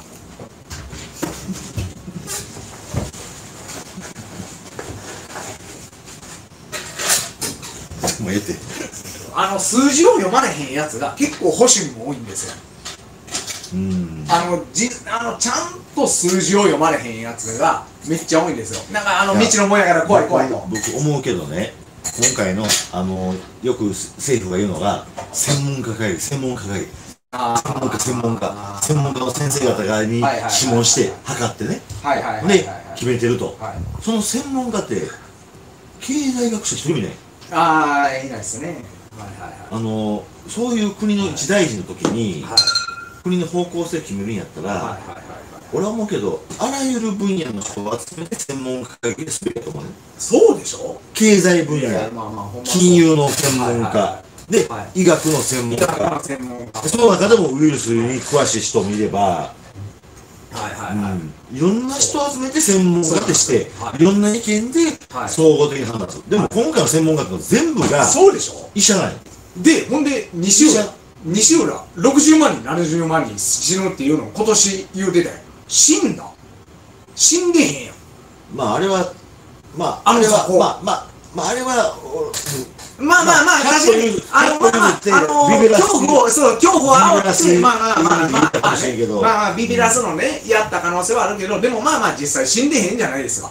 10分の1としても6万人、7万人死んだあかって。の暗に恐怖不安を煽りすぎるのも罪やと思う。いや、もう絶対罪ですよ。あのある程度の数値化したデータとか、その例えば法律の話で言ったら、はい。判例があるわけね判例に基づいてこうやったらこうなりますとでまあはいはいはい。言ってみたら今回のウイルスに関しては判例がないわけですまあまあまあまあスペ100年前のスペイン風邪あるかもしれんけども。はいはいはいはいでもそれにしてはちょっと煽りすぎやわね。煽りすぎですよ。危険危険と、何が俺それやったらインフルエンザの方が俺は危険やと思うからインフルエンザの方が死んでるやつ今のところ多いから今のところ日本に関してはね。日本に関してはね、あのー、今うまあ今後は分かんないですよ。だから今後どうなるか分からんからあの別にバカにしてるわけじゃなくてただそまあの全然。ただそのちょっとこうあまりにもその弱い敵に対してちょっとあの防御しすぎやろと。っていうのがね。全然都知事選関係ない。全然と実践関係ないな。ああちょっとあのせやね。あの 戻しましょうか？桜井誠さなんでなんでこな。んでこんなんなってんやろ？だからあの桜井さん怖い怖い怖い怖いって。あのコロナ対策そうそうでコロナ対策であのそうそうあそれ。対戦しない。そうそうそうそう。そうあのまずあのだから全部桜井そう誠が悪い。そうそうそう。あの、コロナ対策する前に、あの、お前がまず、あの、言い過ぎせいせいせい、言い過ぎ。せいせいせい、言い過ぎ。お前は言い過ぎ。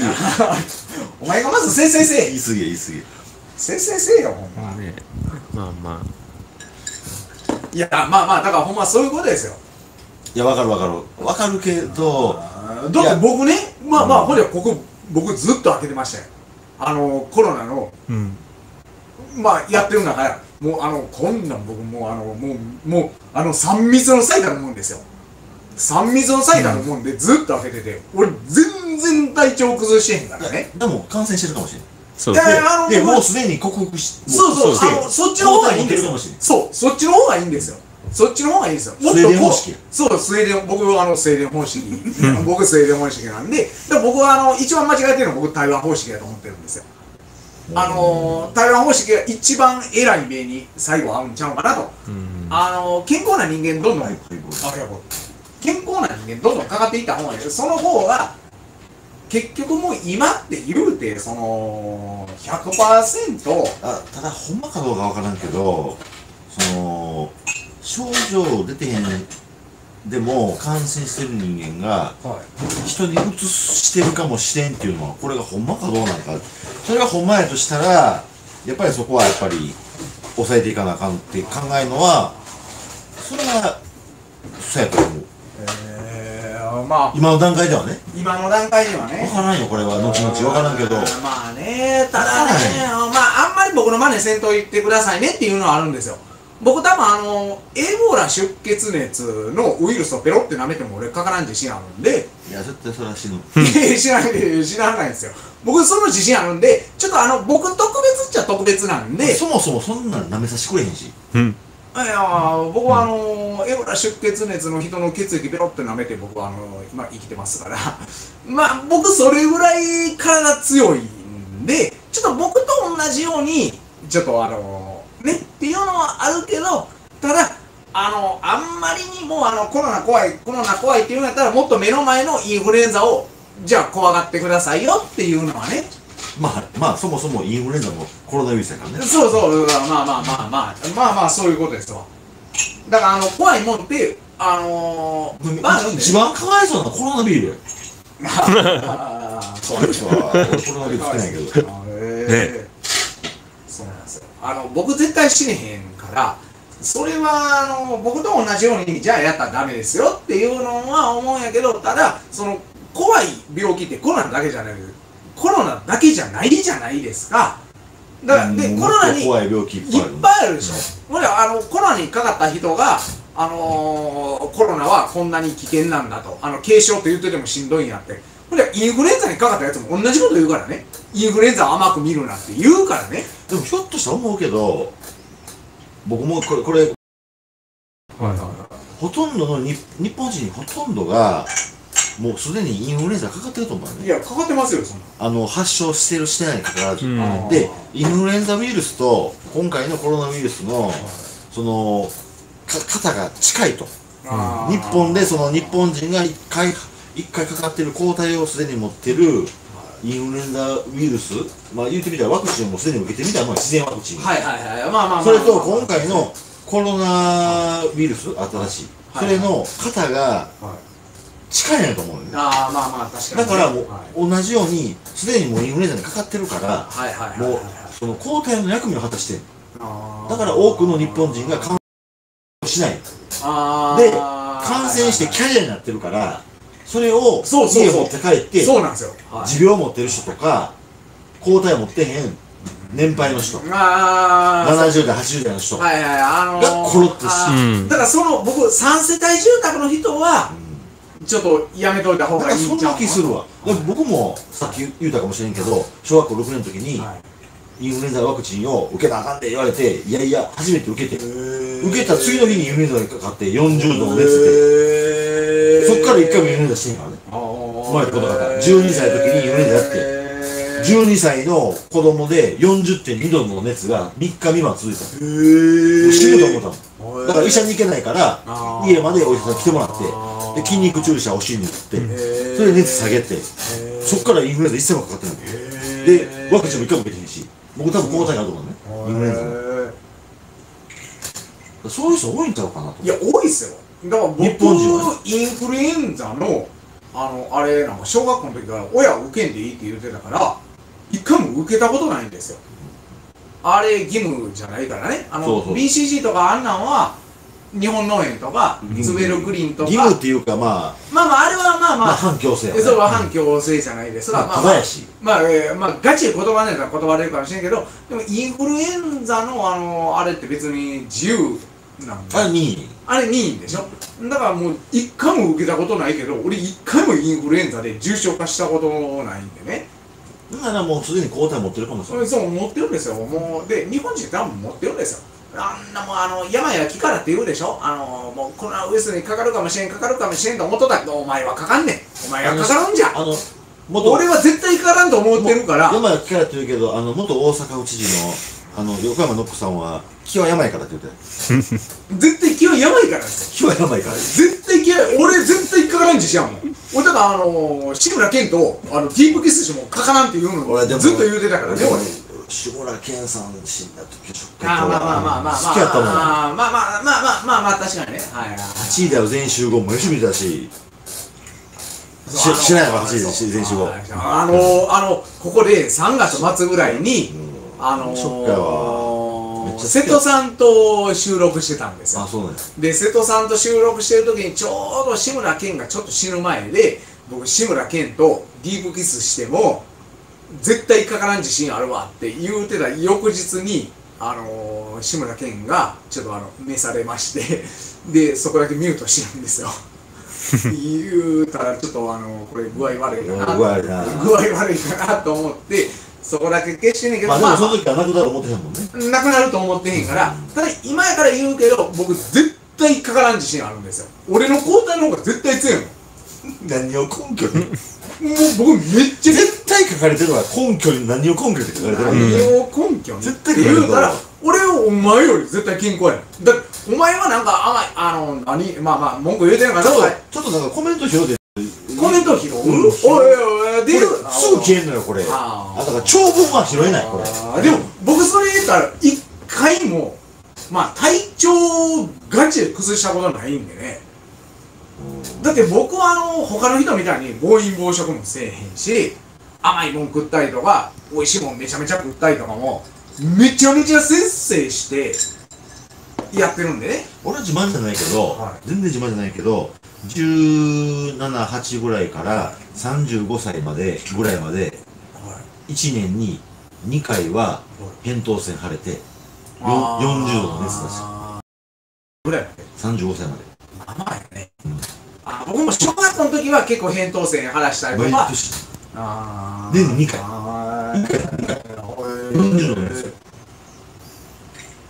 あーまあ俺ないかまあで小学校の時は僕もあったんですけまあどね、全部扁桃腺じゃなくて中には溶連菌ってあって。あ溶連菌っていう菌がねこの喉チンコにつくんね。へえあそうそれで熱が出るってもあったけど溶連菌溶連菌俺ないねんな体調ガチで崩したことほんまにないんでね。あのね人間ね40度の熱出たらねうーんしんどい。ちなみに僕平熱低いから。平熱35度へー。6分ぐらい。あこれちょっと僕言っていいですか？僕平熱37度2分なんですよ。僕はあの俺にしたら微熱やん。そうそう。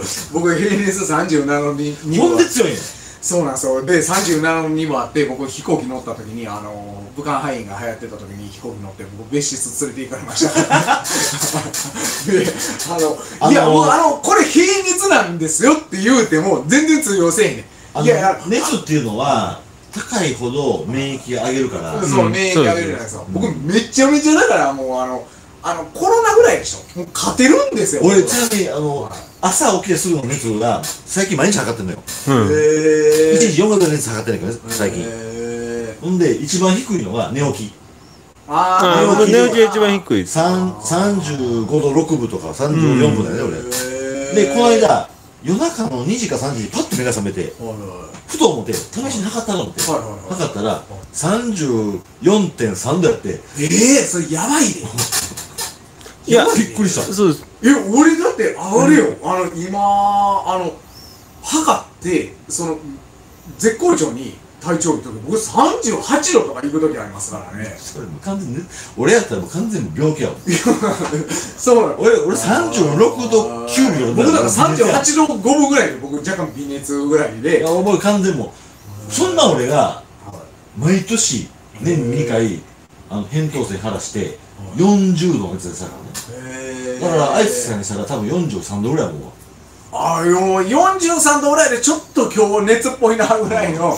まあ人間43度の熱やったら死ぬけど。僕多分死なんのちゃうかなと思って。死ぬ死ぬ死ぬタンパク質固まるわ。うん。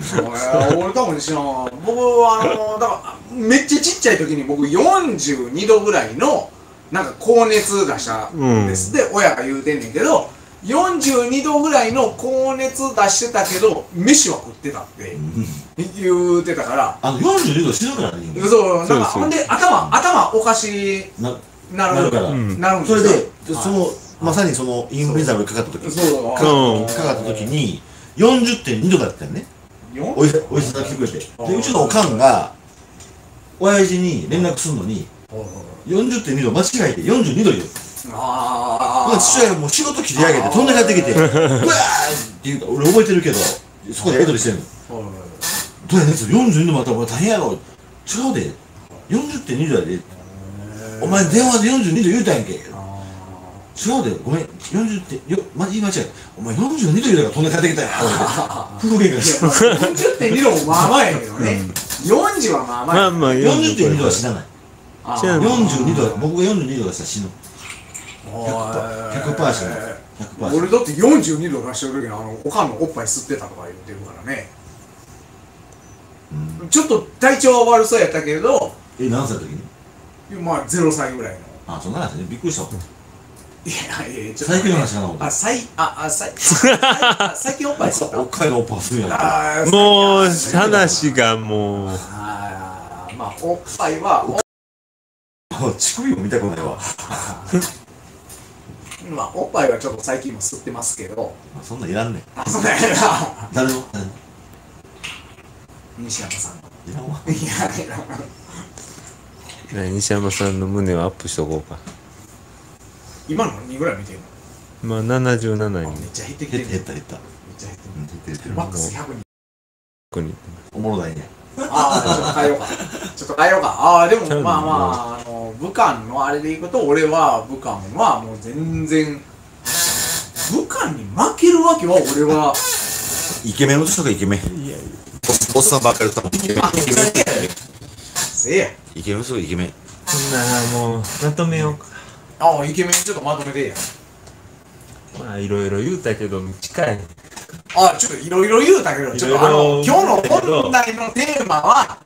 都知事選都知事選よいやこれ2人が今回のこの新型コロナウイルスを病気として捉えてるとこういうことになるんであって僕はこれは武漢バイオテロやと思ってるから実際に生物兵器が使われた時の予行演習やと思う。そうやって捉えると緊急事態宣言から何からも全て納得がいくんちゃうんかな。僕はそういうふうにまあ考えてる。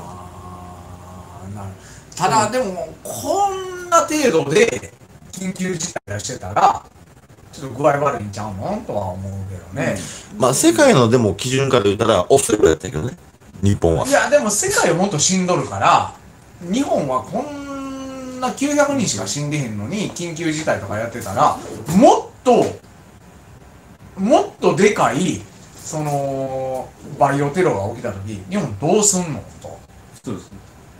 そう。だからこの今回の新いわゆる武漢肺炎のこの新型コロナウイルスがもっともっと強力やった場合に今のタイミングでの緊急事態宣言やったら遅すぎたしあ逆にもっともっとか軽い症状のしか実際出えへんやつやったらせんでもよかったし。それはまだちょっとロスチャイルドとロックフェラーが黒幕ですわって書いてある。ああ俺そういうもうもうそういうあのそれもをう僕そういうの一番苦手結局今回の緊急事態宣言に関しては俺はまだ未だ結論出せないもうちょっと日がかかる。まあまあまあねそれはわかる、だいやあのちょっと疲労もうあ、サローさん、もう第三次世界大戦は始まってるんやで。あそうなのアホボケかすやで。あいやいやそさっきのロックフェラーとロスチャイルドが黒幕ってお前どんだけ知ってんの？ちょっと言うわ。言うわ。俺言うわ。ロックフェラーとロスチャイルドいや俺どんだけ世界の黒幕知ってるやつがコメントしてんの？と思えへん。言う人って。あのー、陰謀論好きな人がいて、ああおるおるおる。だって僕も、僕も一時好きやってんけど、でも陰謀論好きな人ハマる時期あるんですわ。ハマる時期あるけど、全然知らんやん。別にロスチャイルドとロックフェラーのなんか関係者なんて言うたらなんかネットで集めた情報だけで言うてるやろ。まあそういうのやめようやっていうのは思うんやけどえちょっともう一回帰ってきてや。誰か知らんけど。僕も帰る。あ帰る？そうやね、ごめん。えらい時間だもんごめんごめん。えええまあもうイケメン帰りますイケメン帰ります。イケメン帰ります帰りますフリーメイソンとか。かっこ笑い。全然興味ない、俺フリーメイソンいや、フリーメイソンあるよ。いやまあまああるけどただあれが関わってるかっていうと全然興味ないけどね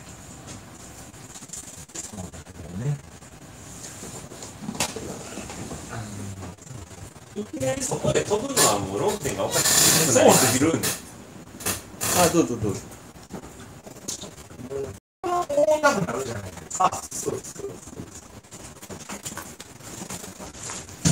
これ？コメントすぐ消えてくねこれ。すぐ消えてじゃあ消えるなんでこれ結局小小林先生、帰ります。小林さんイケメン帰ります。明日も仕事なんで。帰るんで仕事何してんのい T もあるで。イルミナティとかも俺あんまり興味ないねんな。あ UI やでとか言って書書いてる人いるけど、UI。UI 余計興味ないわ。UI とか一点興味ないわ。書いてんのサロさんやけど。サルさん。かサルさんが言うてたらちょっとおもろいけど。帰りますよ僕は。あイケメン帰ります。20人ぐらいになったんちゃう？増えた、80人。おイケメン帰りが増えた。ずっと映されてたら帰りづらいですよいやいやいやお疲れです。お疲れ忘です。れてた忘れ物ないあマスク。マスク。あマスク。最後に一言。最後あ最後に一言。あのー、都知事選挙に一言。そうですね今日まあ僕も言うことはできませんけどね。まあ広報支援というかネット拡散等々その辺はねやっていきたいと思います。はい。真面目に。真面目に。真面目に。僕も頑張ります。はい。はい。ではでは。き気ぃつけて。はい、はい。えー視聴していただいた皆さんありがとうございました。僕はねここで戦線離脱いたします。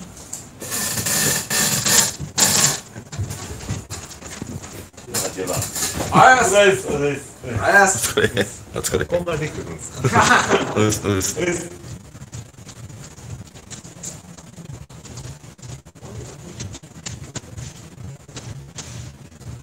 黒塗り外戦車で安全に、黒塗り外戦車で安全運転で帰るんやでやって。佐藤さんが。気ほんま気ぃつけて。あ、ちょっとこれだあのー、西山さんあ、はい。お願いしますよ何ですか？いやあのー、何やったっけえっとマコリンの一応手はマコリンのそのマコリンのちょっと、この椅子うるさいよね、さっきから。あうるさいですか？こっちとはい。そっちからああのマコリンのあのー、何やったっけ？えっとめっちゃうるさい。マコリンのその応援応援。マコリンの応援。マコリンの応援。ああ、応援しますよ。あの、ちょっとマコリンの、はえっ、と何？都市宣伝のあの人。い。頑張はい頑張ってほしいいや、もうちょっとそう、めっちゃ、めっちゃざっくりしてんだ。もうちょっと、ちょっと心を込めて、どえどこみた心を、ああ、椅子、ああ、椅子持ってきてくれ。ああ、あります、ああ、え、西山さん凱旋活動はしてますか？って。最あ、近。今日、あ、今日久々にしました。あ、今日久々に、え、今日、ああ、ああ、今日のな、あー今日のあれよね。今日のそあの、のー、えっ、と、え、えっ、と、何やったっけ？えっ、と、天天安門、天安門。門。30? 31年。あ、31年年ええもうそんな経つんや。ええそう、天安門ね、はい。まあまあいいことっすよね。僕でもまあ、はい。まあまあまあさっきも言いました僕天安門大賛成。大賛天安天安門大賛成の意味もい。や、変だ天安門。頭おかしいわ。はい、天安門と僕天安門大賛成。大賛成頭おかしい。はい、あの文化大革命大賛成。とあの何千万人殺されてるあのもっと殺せと。もう1億人ぐらい殺しといたらもっとよかったのになと。はい。であとあのスターリンの大粛清。もっとロシア人殺しとけよとまあまあもロシア人だけしたと思うけど。うまあでもスターリン一番殺したんて粛清で一番殺したん同胞を一番殺したんってだからそれは全部ロシア人だよねと思う。まあまあ全部じゃないですけどねもちろんウクライナとかもおるし、まあなまあまあおんねんけど、うん、まあまあそこはねただあのーただ僕よう言うのがあのー外人で一番日本人殺したアメリカ人なんでね、はいはいはいは、はい。僕だからアメリカ人が一番嫌いなんですよ。中国人とか韓国人よりも。い。でも、あの、あれですか、あの、地球上ではい。人間一番殺してるの誰か知ってるでしょ？人間が？人間を一番殺してるの。それ人間じゃなくて？うん。やったらカーでカー、カ ー。ああモスキートああ、モスキート、ああ、かやからね。ああまあまあ、あーまあまあね、はい。まあまあ、あの、だからそんなんでいくと、あの天安門はカーになってほしかったなと。あの、毛沢東が。それ。じゃあえーこう映されると何も喋ることないんやけどね。コメントどうやったら見られんねやろ。でも結構出ますよ。出るけどパッと聞いてくるんですよ。ああまあまあ確かに。なんか見方あるけどねこれ。あなんかわかんねえああなんか出てきた。もう眠たい。あ眠たい。あなんか出てくる出てくる。そう、だからずっと表示されてんやけど、あパッと出て、パッと、ファーッとフェードアウトで消えてくる。はいはいはいはいはいはいはい何やこれもうあなんかよくわかんないえー、あーえで西山さんは今後活動は？あ、まあ、また、はいしていこうかと思いますけど、今、今、今すぐちょっと、ねえ、ちょっとあれですけど、まあまあ、やへーやっていきますよ。あのー、情報発信していきました。ああ日本第一党にはもう戻られないんですか？戻らないです。戻らないです。なんで戻らないんですか？僕はどこにも所属しないです。へ無 所属えなんで？なんとなく。いや、日本第一党嫌いじゃないですよ。はいはいはいあー日本第一党の政策、もうほはいぼほぼ9割ぐらい賛同してますし、へえでもさっき新婦が10割賛成って言ってましたね。新婦？はほぼそうやねあそう。あの新婦10割と日本第一党9割のその1割の差ってどこなんですですか？生レバ。あれは冗談でしょあれ見たときなんでってことだあれ冗談で言うてるだけちゃいますの冗談であんな金かけて冊子に入れへんやろしね、マジで。あーなるほどね。あーわざわざ。まあまああれ冗談でしょ。言うて冗談でしょ。生レバは美味しいけどね。美味しいですよ美味しいけど別にそんな。えでも生レバなんで禁止したんかなっていうのも僕ちょっと思いますけどねまあ死んだ人がいたよね。生レバで死んだやつおらんでしょさあ、し別におおんのかな？おおったんすか？いたらしあそうなんやい。知らん。真実は知らない。そいつの健康状態はもういコロたっていうことになってる。コロナみたいなもんでしょあれっいたってていうことになってる。ああ俺生レバ生レバなんか今やってたら逮捕とか言いますもんねだから、こっそりやってるでしょあの生生もん肉の生もんは。あー。こっそり。常連客だけに。僕そもそもあのーあ生が嫌い。生生の生肉無理なんで。え刺身のダメなんですか？あの魚の刺身できます。ああそういうことか。あの京都の祇園にあるんですよ生肉専門店が。あ有名な店。あはいはいはいはい。あー。まあまあまあね。まあ店の名前言いませんけどね。はいはいはいめっちゃ有名な店だけど。ああ子供死んだんや。あそうなんや。あええ生レバー食べて子供死んでんて。死んだね。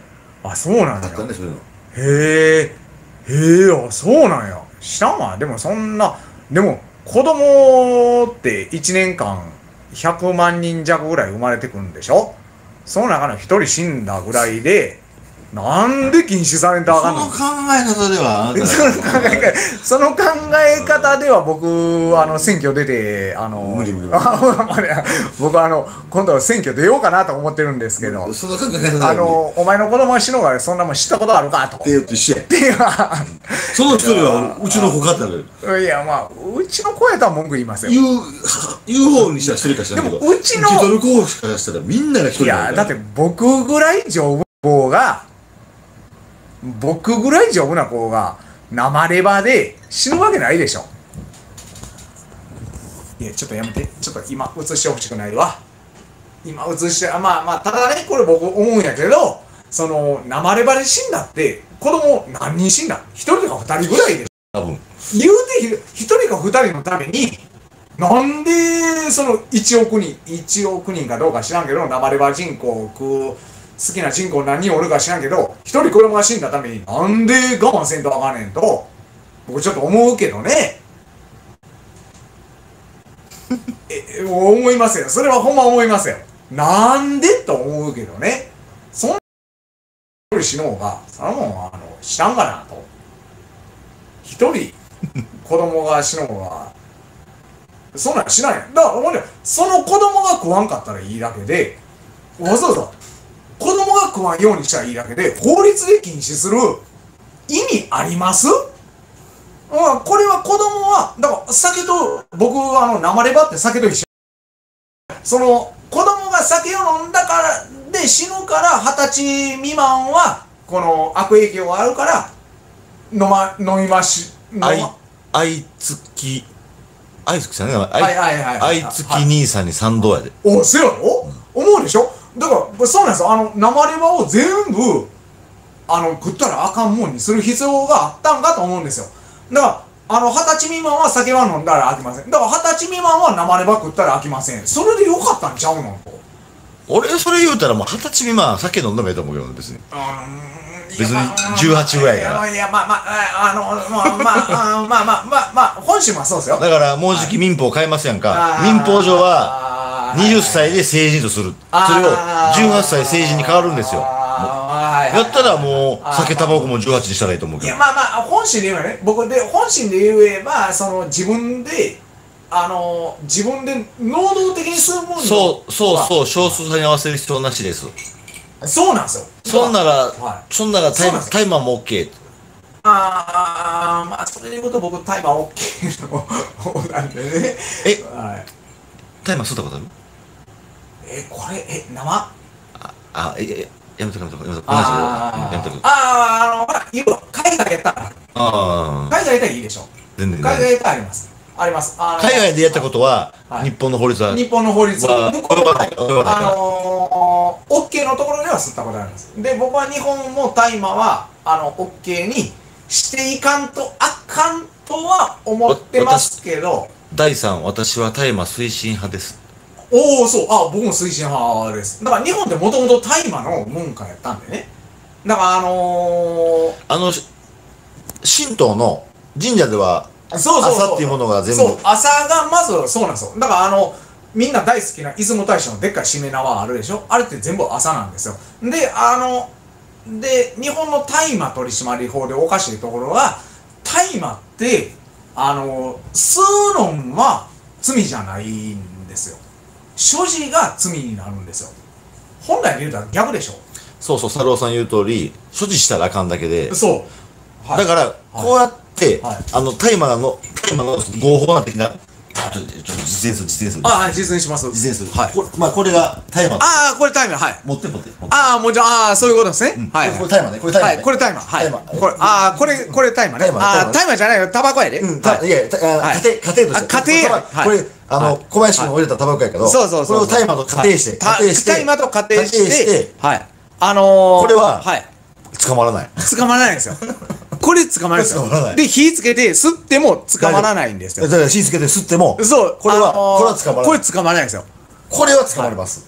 ああ、そうそうそうそうそうそう。あの、所持が捕まらないんですよ。言っときますよ、これ大麻ちゃいますよ。はいこれ小林君が入れたタバコですからね。はいはいはいはい。これ例えとして、例えそう、例え、例えでね。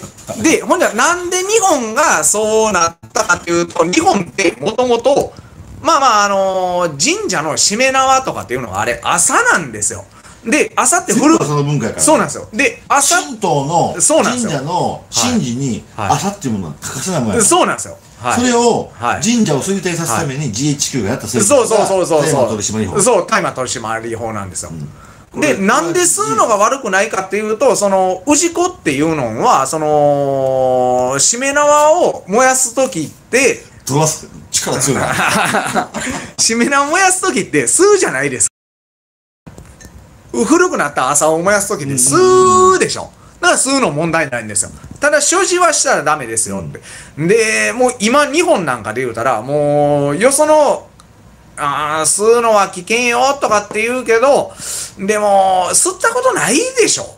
実際吸って、まあ、あの、もちろんね、あの、法律は大事だと思うんですよ。僕もほんま正直言うけど吸ったことないまあ。海外でも日本でも吸ったことない。あーただ、あのー合法にした場合って、やっぱりその酒とか、酒とかと一緒で、その、吸った後、あの、運転したらあかんとか、そういう法律は、絶対法整備はせんとあかんとは思い。吸って死にかけたっていうと、それ多分ね、あの、変な大麻で、ジョイントとかですよ。うん。あの、ジョイントと、あの、大麻って全然違うんで。あったんがその、は俺の連れやけど、はい。マンションの5階か6階ぐらいであー。であのマリファナ吸い取ってはいはいはいはいはいはい。一人がパーン飛んでしもてあー。俺飛べはいはいはいはい窓から出ようとした。それを見ながら必死で飛べるっていうよくあある話でいうのはあるねあんねんけど、あれって純粋な大麻じゃないんでね。そうそうそうそうあの、純粋な大麻じゃないんですよ。もうあの完全に混じってるもんねそう、あの、混じってる、いわゆるジョイントっていう、粗悪品はい、粗悪品なんですよ。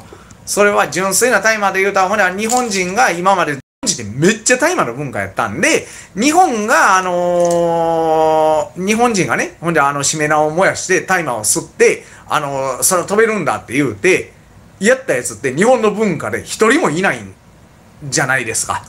誰一人としておらんでしょ。だあの、欧米人の吸ってる大麻と日本人の吸ってた大麻は、一緒にしちゃダメなんですよ。まあ、まあ、だからこれでいくと、消しとかもそうなんですけどね。まあ、消しも今絶対吸ったらダメなんですけど、消しとかもそうなんあれ、日本の文化なんですよ。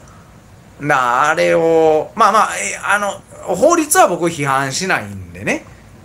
まあ、あかんって言うんやったら、その、法律を破ってまで僕は吸いたいとは全然思わんけど、ただまあまあ、合法の海外行った時は全然、まあまあ、吸います。それは自由やからね、はい。それは僕の自己責任やし自己責任なんでで、日本の法律及ばないそう、ほ及ばんから、あのーはい。僕は別に吸わなかったけど。あーまあまあ別に、はい、まあまあまあね、はい。ただ、あの、医療大麻は俺ちょっと認めた方がええんちゃうかなっていうのははね、あのーだから抗がん剤の治療でめっちゃ苦しんでて、どんどんどんどんもうあのーきつくて、その、だからはっきり言ってモルヒネは OK やのに、ま、そうそうそう、そうそう。かんっていうのがそうなんですよ。はっきり言ってモルヒネの方がきついしねそう、そうなんですよ。でも末期がんの人とかってもうどんどんモルヒネをそうそう、どんどん増やしていく。ほんで、どんどんなんかあのーほんでふわーっとそう、ふわっとなって酩酊状態になっ酩酊状て、態でうわーそう。そうそうそうそう蝶々が飛んでるそうなんですよ。で、大麻ってそういうことないとかって言うからね。やったら、もう俺そっちの方が、あのちゃうんかなって、ああ、だから THC と何やったっけ、な、な、なんかあんのよね。なんか、な、まあまあ、俺もあんまり詳しくないから知らんけど、うん、ただあんまりその、タイマーをちょっと批判するのは僕はあんまりは、あんまり好きではないですけどね。まあそれはまあまあ人それぞれやから、別に吸わんかったら吸わんで、ええもんちゃう、ええもんやしね。日本第一党でタイマーのなんかあるんですか？政策的なのは。多分賛成だと思う。あ医療大麻あ、そうなんです確か。あ医療大麻確か。医療だ。違ったかな？違ったらごめんなさい。確かへあったと思う。医あ療大麻医療医療大麻へうんでうん。ななんか書いてあるような気がする。んですか？あんま覚えてないけど。違ったかな？違ったらごめんなさい。ああ、ごめんなあー全然、はい。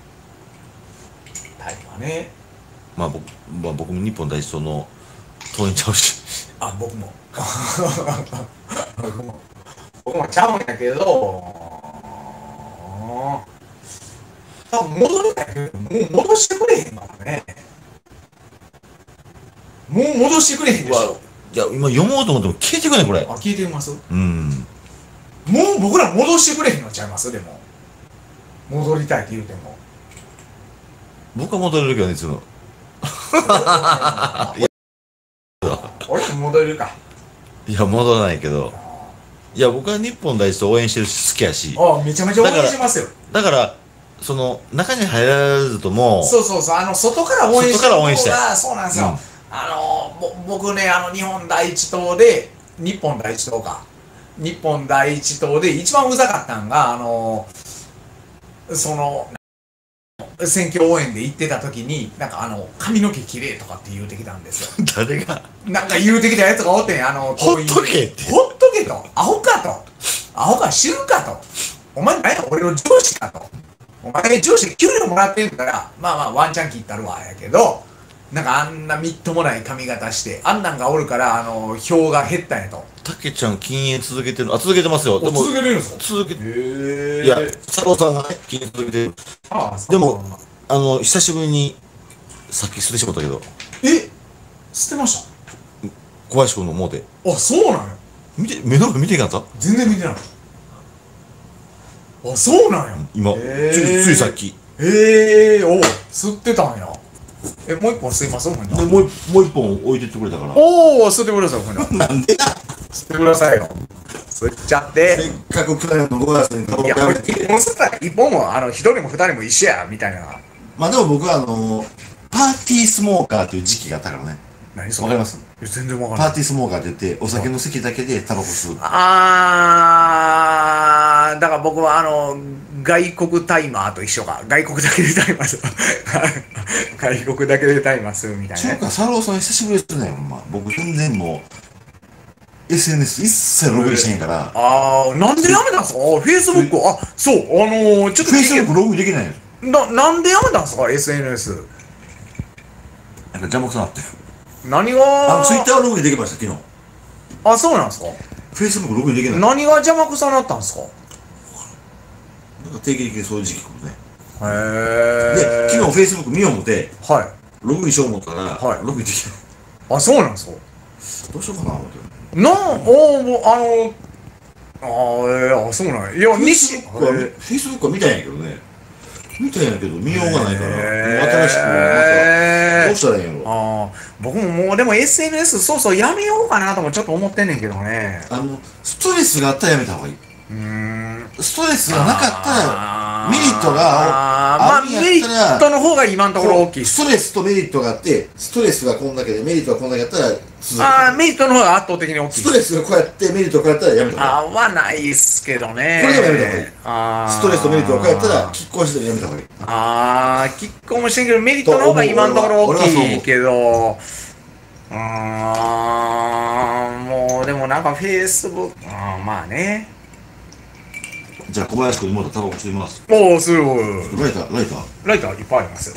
ああって。ああって。おおい。おい、っすいいっすいいっす。お久しぶりの、久しぶりからさっき吸んだ。ああ、さっき、うさっきのが何年ぶりやったんですか？何年ぶりではないけど。ああ、まあまあ、ちょくちょくは。でも何ヶ月ぶり。あ、へえあそうへえへえあの菊の御紋入りのタバコありますよ。そんな。吸います？ああ吸います？これ聞くのあちょマジで吸います？西山さんやったらちょっと吸ってほしいなと思う。マジですか？はい。僕用のちょっと。ここれどうしようかな。これをどこかな。これ置いておきます？これまあ持って帰ってください持ってるからないけどこれ今す何あ、まあ、いや、あ、後で、後で、あの、ちょっと、あの、あるんですよ、僕用の。僕一本もらったやつが。なんかそういうとこ映されるのあれやねいや、いいでしょ、もう。俺、タバコって、でも、ちょっと吸う分には、俺、体にええんちゃうんかなって、ちょっと思ってるからね。まあそれはあるかもしれんけどあの、いっぱい吸いすぎたら、何でも、その、吸いすぎたらあかんけど、ちょっと吸う分には。なんか、俺は体にええんちゃうんかな。だから、大麻も。オッケーや、オッケーや。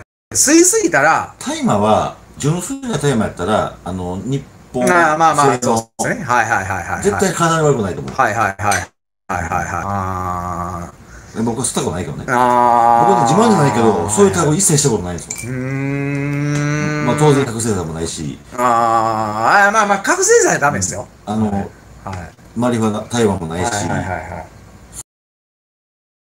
ああ。誘われたことあるけどね全部断ったああ、僕も、だから麻薬はないですよ。ガチで僕は麻薬は一回もないんで。全部断った海外でもね海外でもあーあー、海外でも。海外でもいや、でも海外も麻薬は基本禁止でしょあまあそうよ。だから酒も大麻もやりすぎはダメです。酒も、それは、あの、もちろんやりすぎはダメやけど、ほんではこの、まあ言うたらさっきもやりすぎた麻薬になるそうそう。で、それでいくと食い物もそうやからね。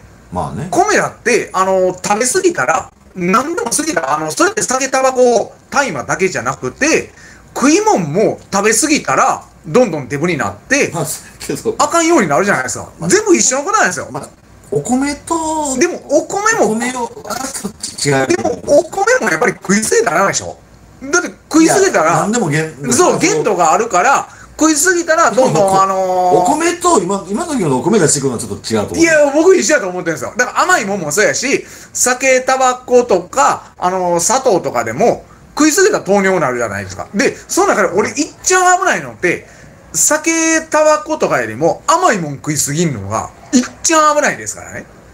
まあね甘いもんっていきなり直結してきて危ないじゃないですか。はで、そこで酒飲みすぎたからって言うて、酔っ払って、基本、まあ、酔っ払って、あの、余計なことを口走るときはあるけど、そういうのを除いたら、一番危ないのって僕、砂糖なんじゃないんかなとは。あの真っ白なやつねあそう、真っ白な砂糖ね。砂糖きびとかじゃなくて、あの、漂白してるね真っ。白なやつはい。もう、あんなんて、で、チョコレートとかね。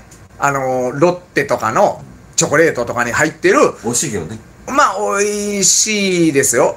はい。だから食いすぎると、食いすぎると、あのー何？これあのーなんか隠語使ってる食いすぎると、えっ、と、桜井さんみたいになるよね？っていうことやね、これ。コメント来ましたけど。だからもう、桜井さんそんな太ってるかな？太っ、いやいや、デブでしょ。いや、あんなもんデブでしょ。いや、いや、あんなもんデブでしょ。あんなもんって言うとあかんけど。1年以上天使あんなもんって言うとあかんけど、いやもうただのデブでしょ。一時ガーッ痩せたってる痩せてるって言うても一般的に見たらやっぱり太ってますよ。僕、あーまあ僕人生で一回も太ったことないんでね。体質やねいや、体質じゃないんですよ。僕太る体質なんですよ。太る体質やけど僕太らんように、もうあのー節制して節制します。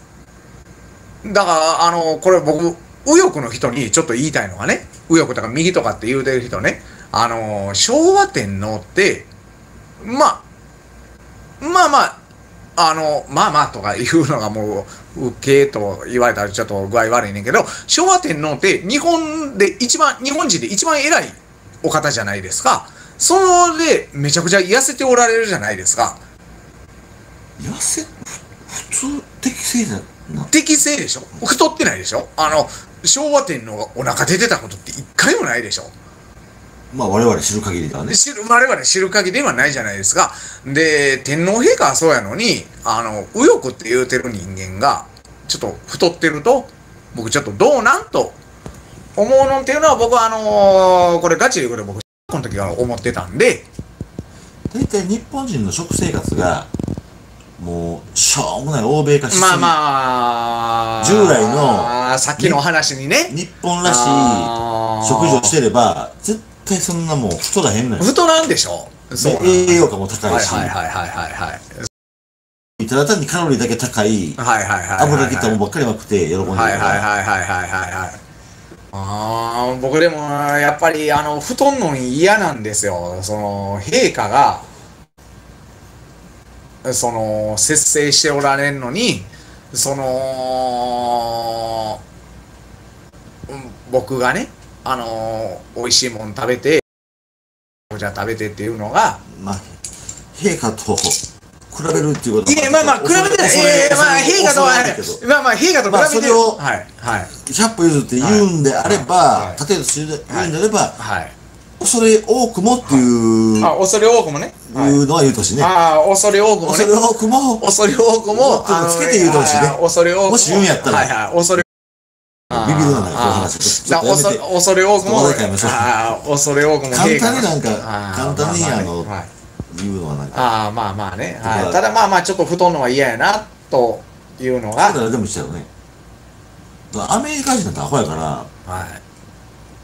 一生懸命ランニングしてるわけですよ例例えばニューヨークのマンハッタンあのーはいはいはいはいはいはいあはい。のーはいセントラルパークを一生懸命走ったのああ、アホみたいにねハンバーガー、ハンバーガー食べてね。一生懸命走ったのはいはいはいはいで。終わってからはい。はい。クラービール飲んであハンバーガー食ってーはいはいはいはい。ほんでまた一生懸命走るはい1リットルのコーラ飲んでね。コーラ飲んで、はい。はい。アホやろ、あんなんやってるから、あの、死ぬ、すぐ死ぬね。絶対これ広告使えんわもう広告はもう、もうつかないですよ。広告はつかない。え、でも、はい。えーでもどうなんかな？いや、だから僕、まあまあね、いいんやけどね。あ、だからちょっとさっきの話戻すけど、その、よく、これ、まあまあ言うと、その言葉ね。こう映したらあかんの？二人をああ、全然できますよ。俺ばっかり映したら二人を映すああ、全然全然できるけど、ああ、ちょっと待って。ああ、なるほどか。ああ、まあまあまあ、はい。え、分かれへん。ああ、もう、えー、これ映ってんのがよう分かる。あ、こうやったらいけんのかそ。っかコメントが見えられへんかいや、こうやったらいけるわ。え？コメントこうやったらいけるわ。なるほどなるほどはいはいはいはいはい。ちょっと待ってください。ああ、ちょっと待って、おしっこいいですか？どうぞ眠たいもう終わりますわうん疲れたもうあんまりダラダラ長くやってもねもうもうもう2時間近くなってねもう2時間っすよ。もう終終わりましょうかもうそろそろもうねそうそう、終わります。あ、もうネタもつきたしネタもつけたし。コメント読んでいかんと喋れやって。誰やお前。まあ、もう休んでください。あー。西山さんのちゃん、そうそう登録してあれ全然更新してんけど。えー、あー、まあまあ、ほんじゃ、そうそう、終わりましょうか。ごめんなさいもうもうはい、はい、もう終わります。ありがとうございました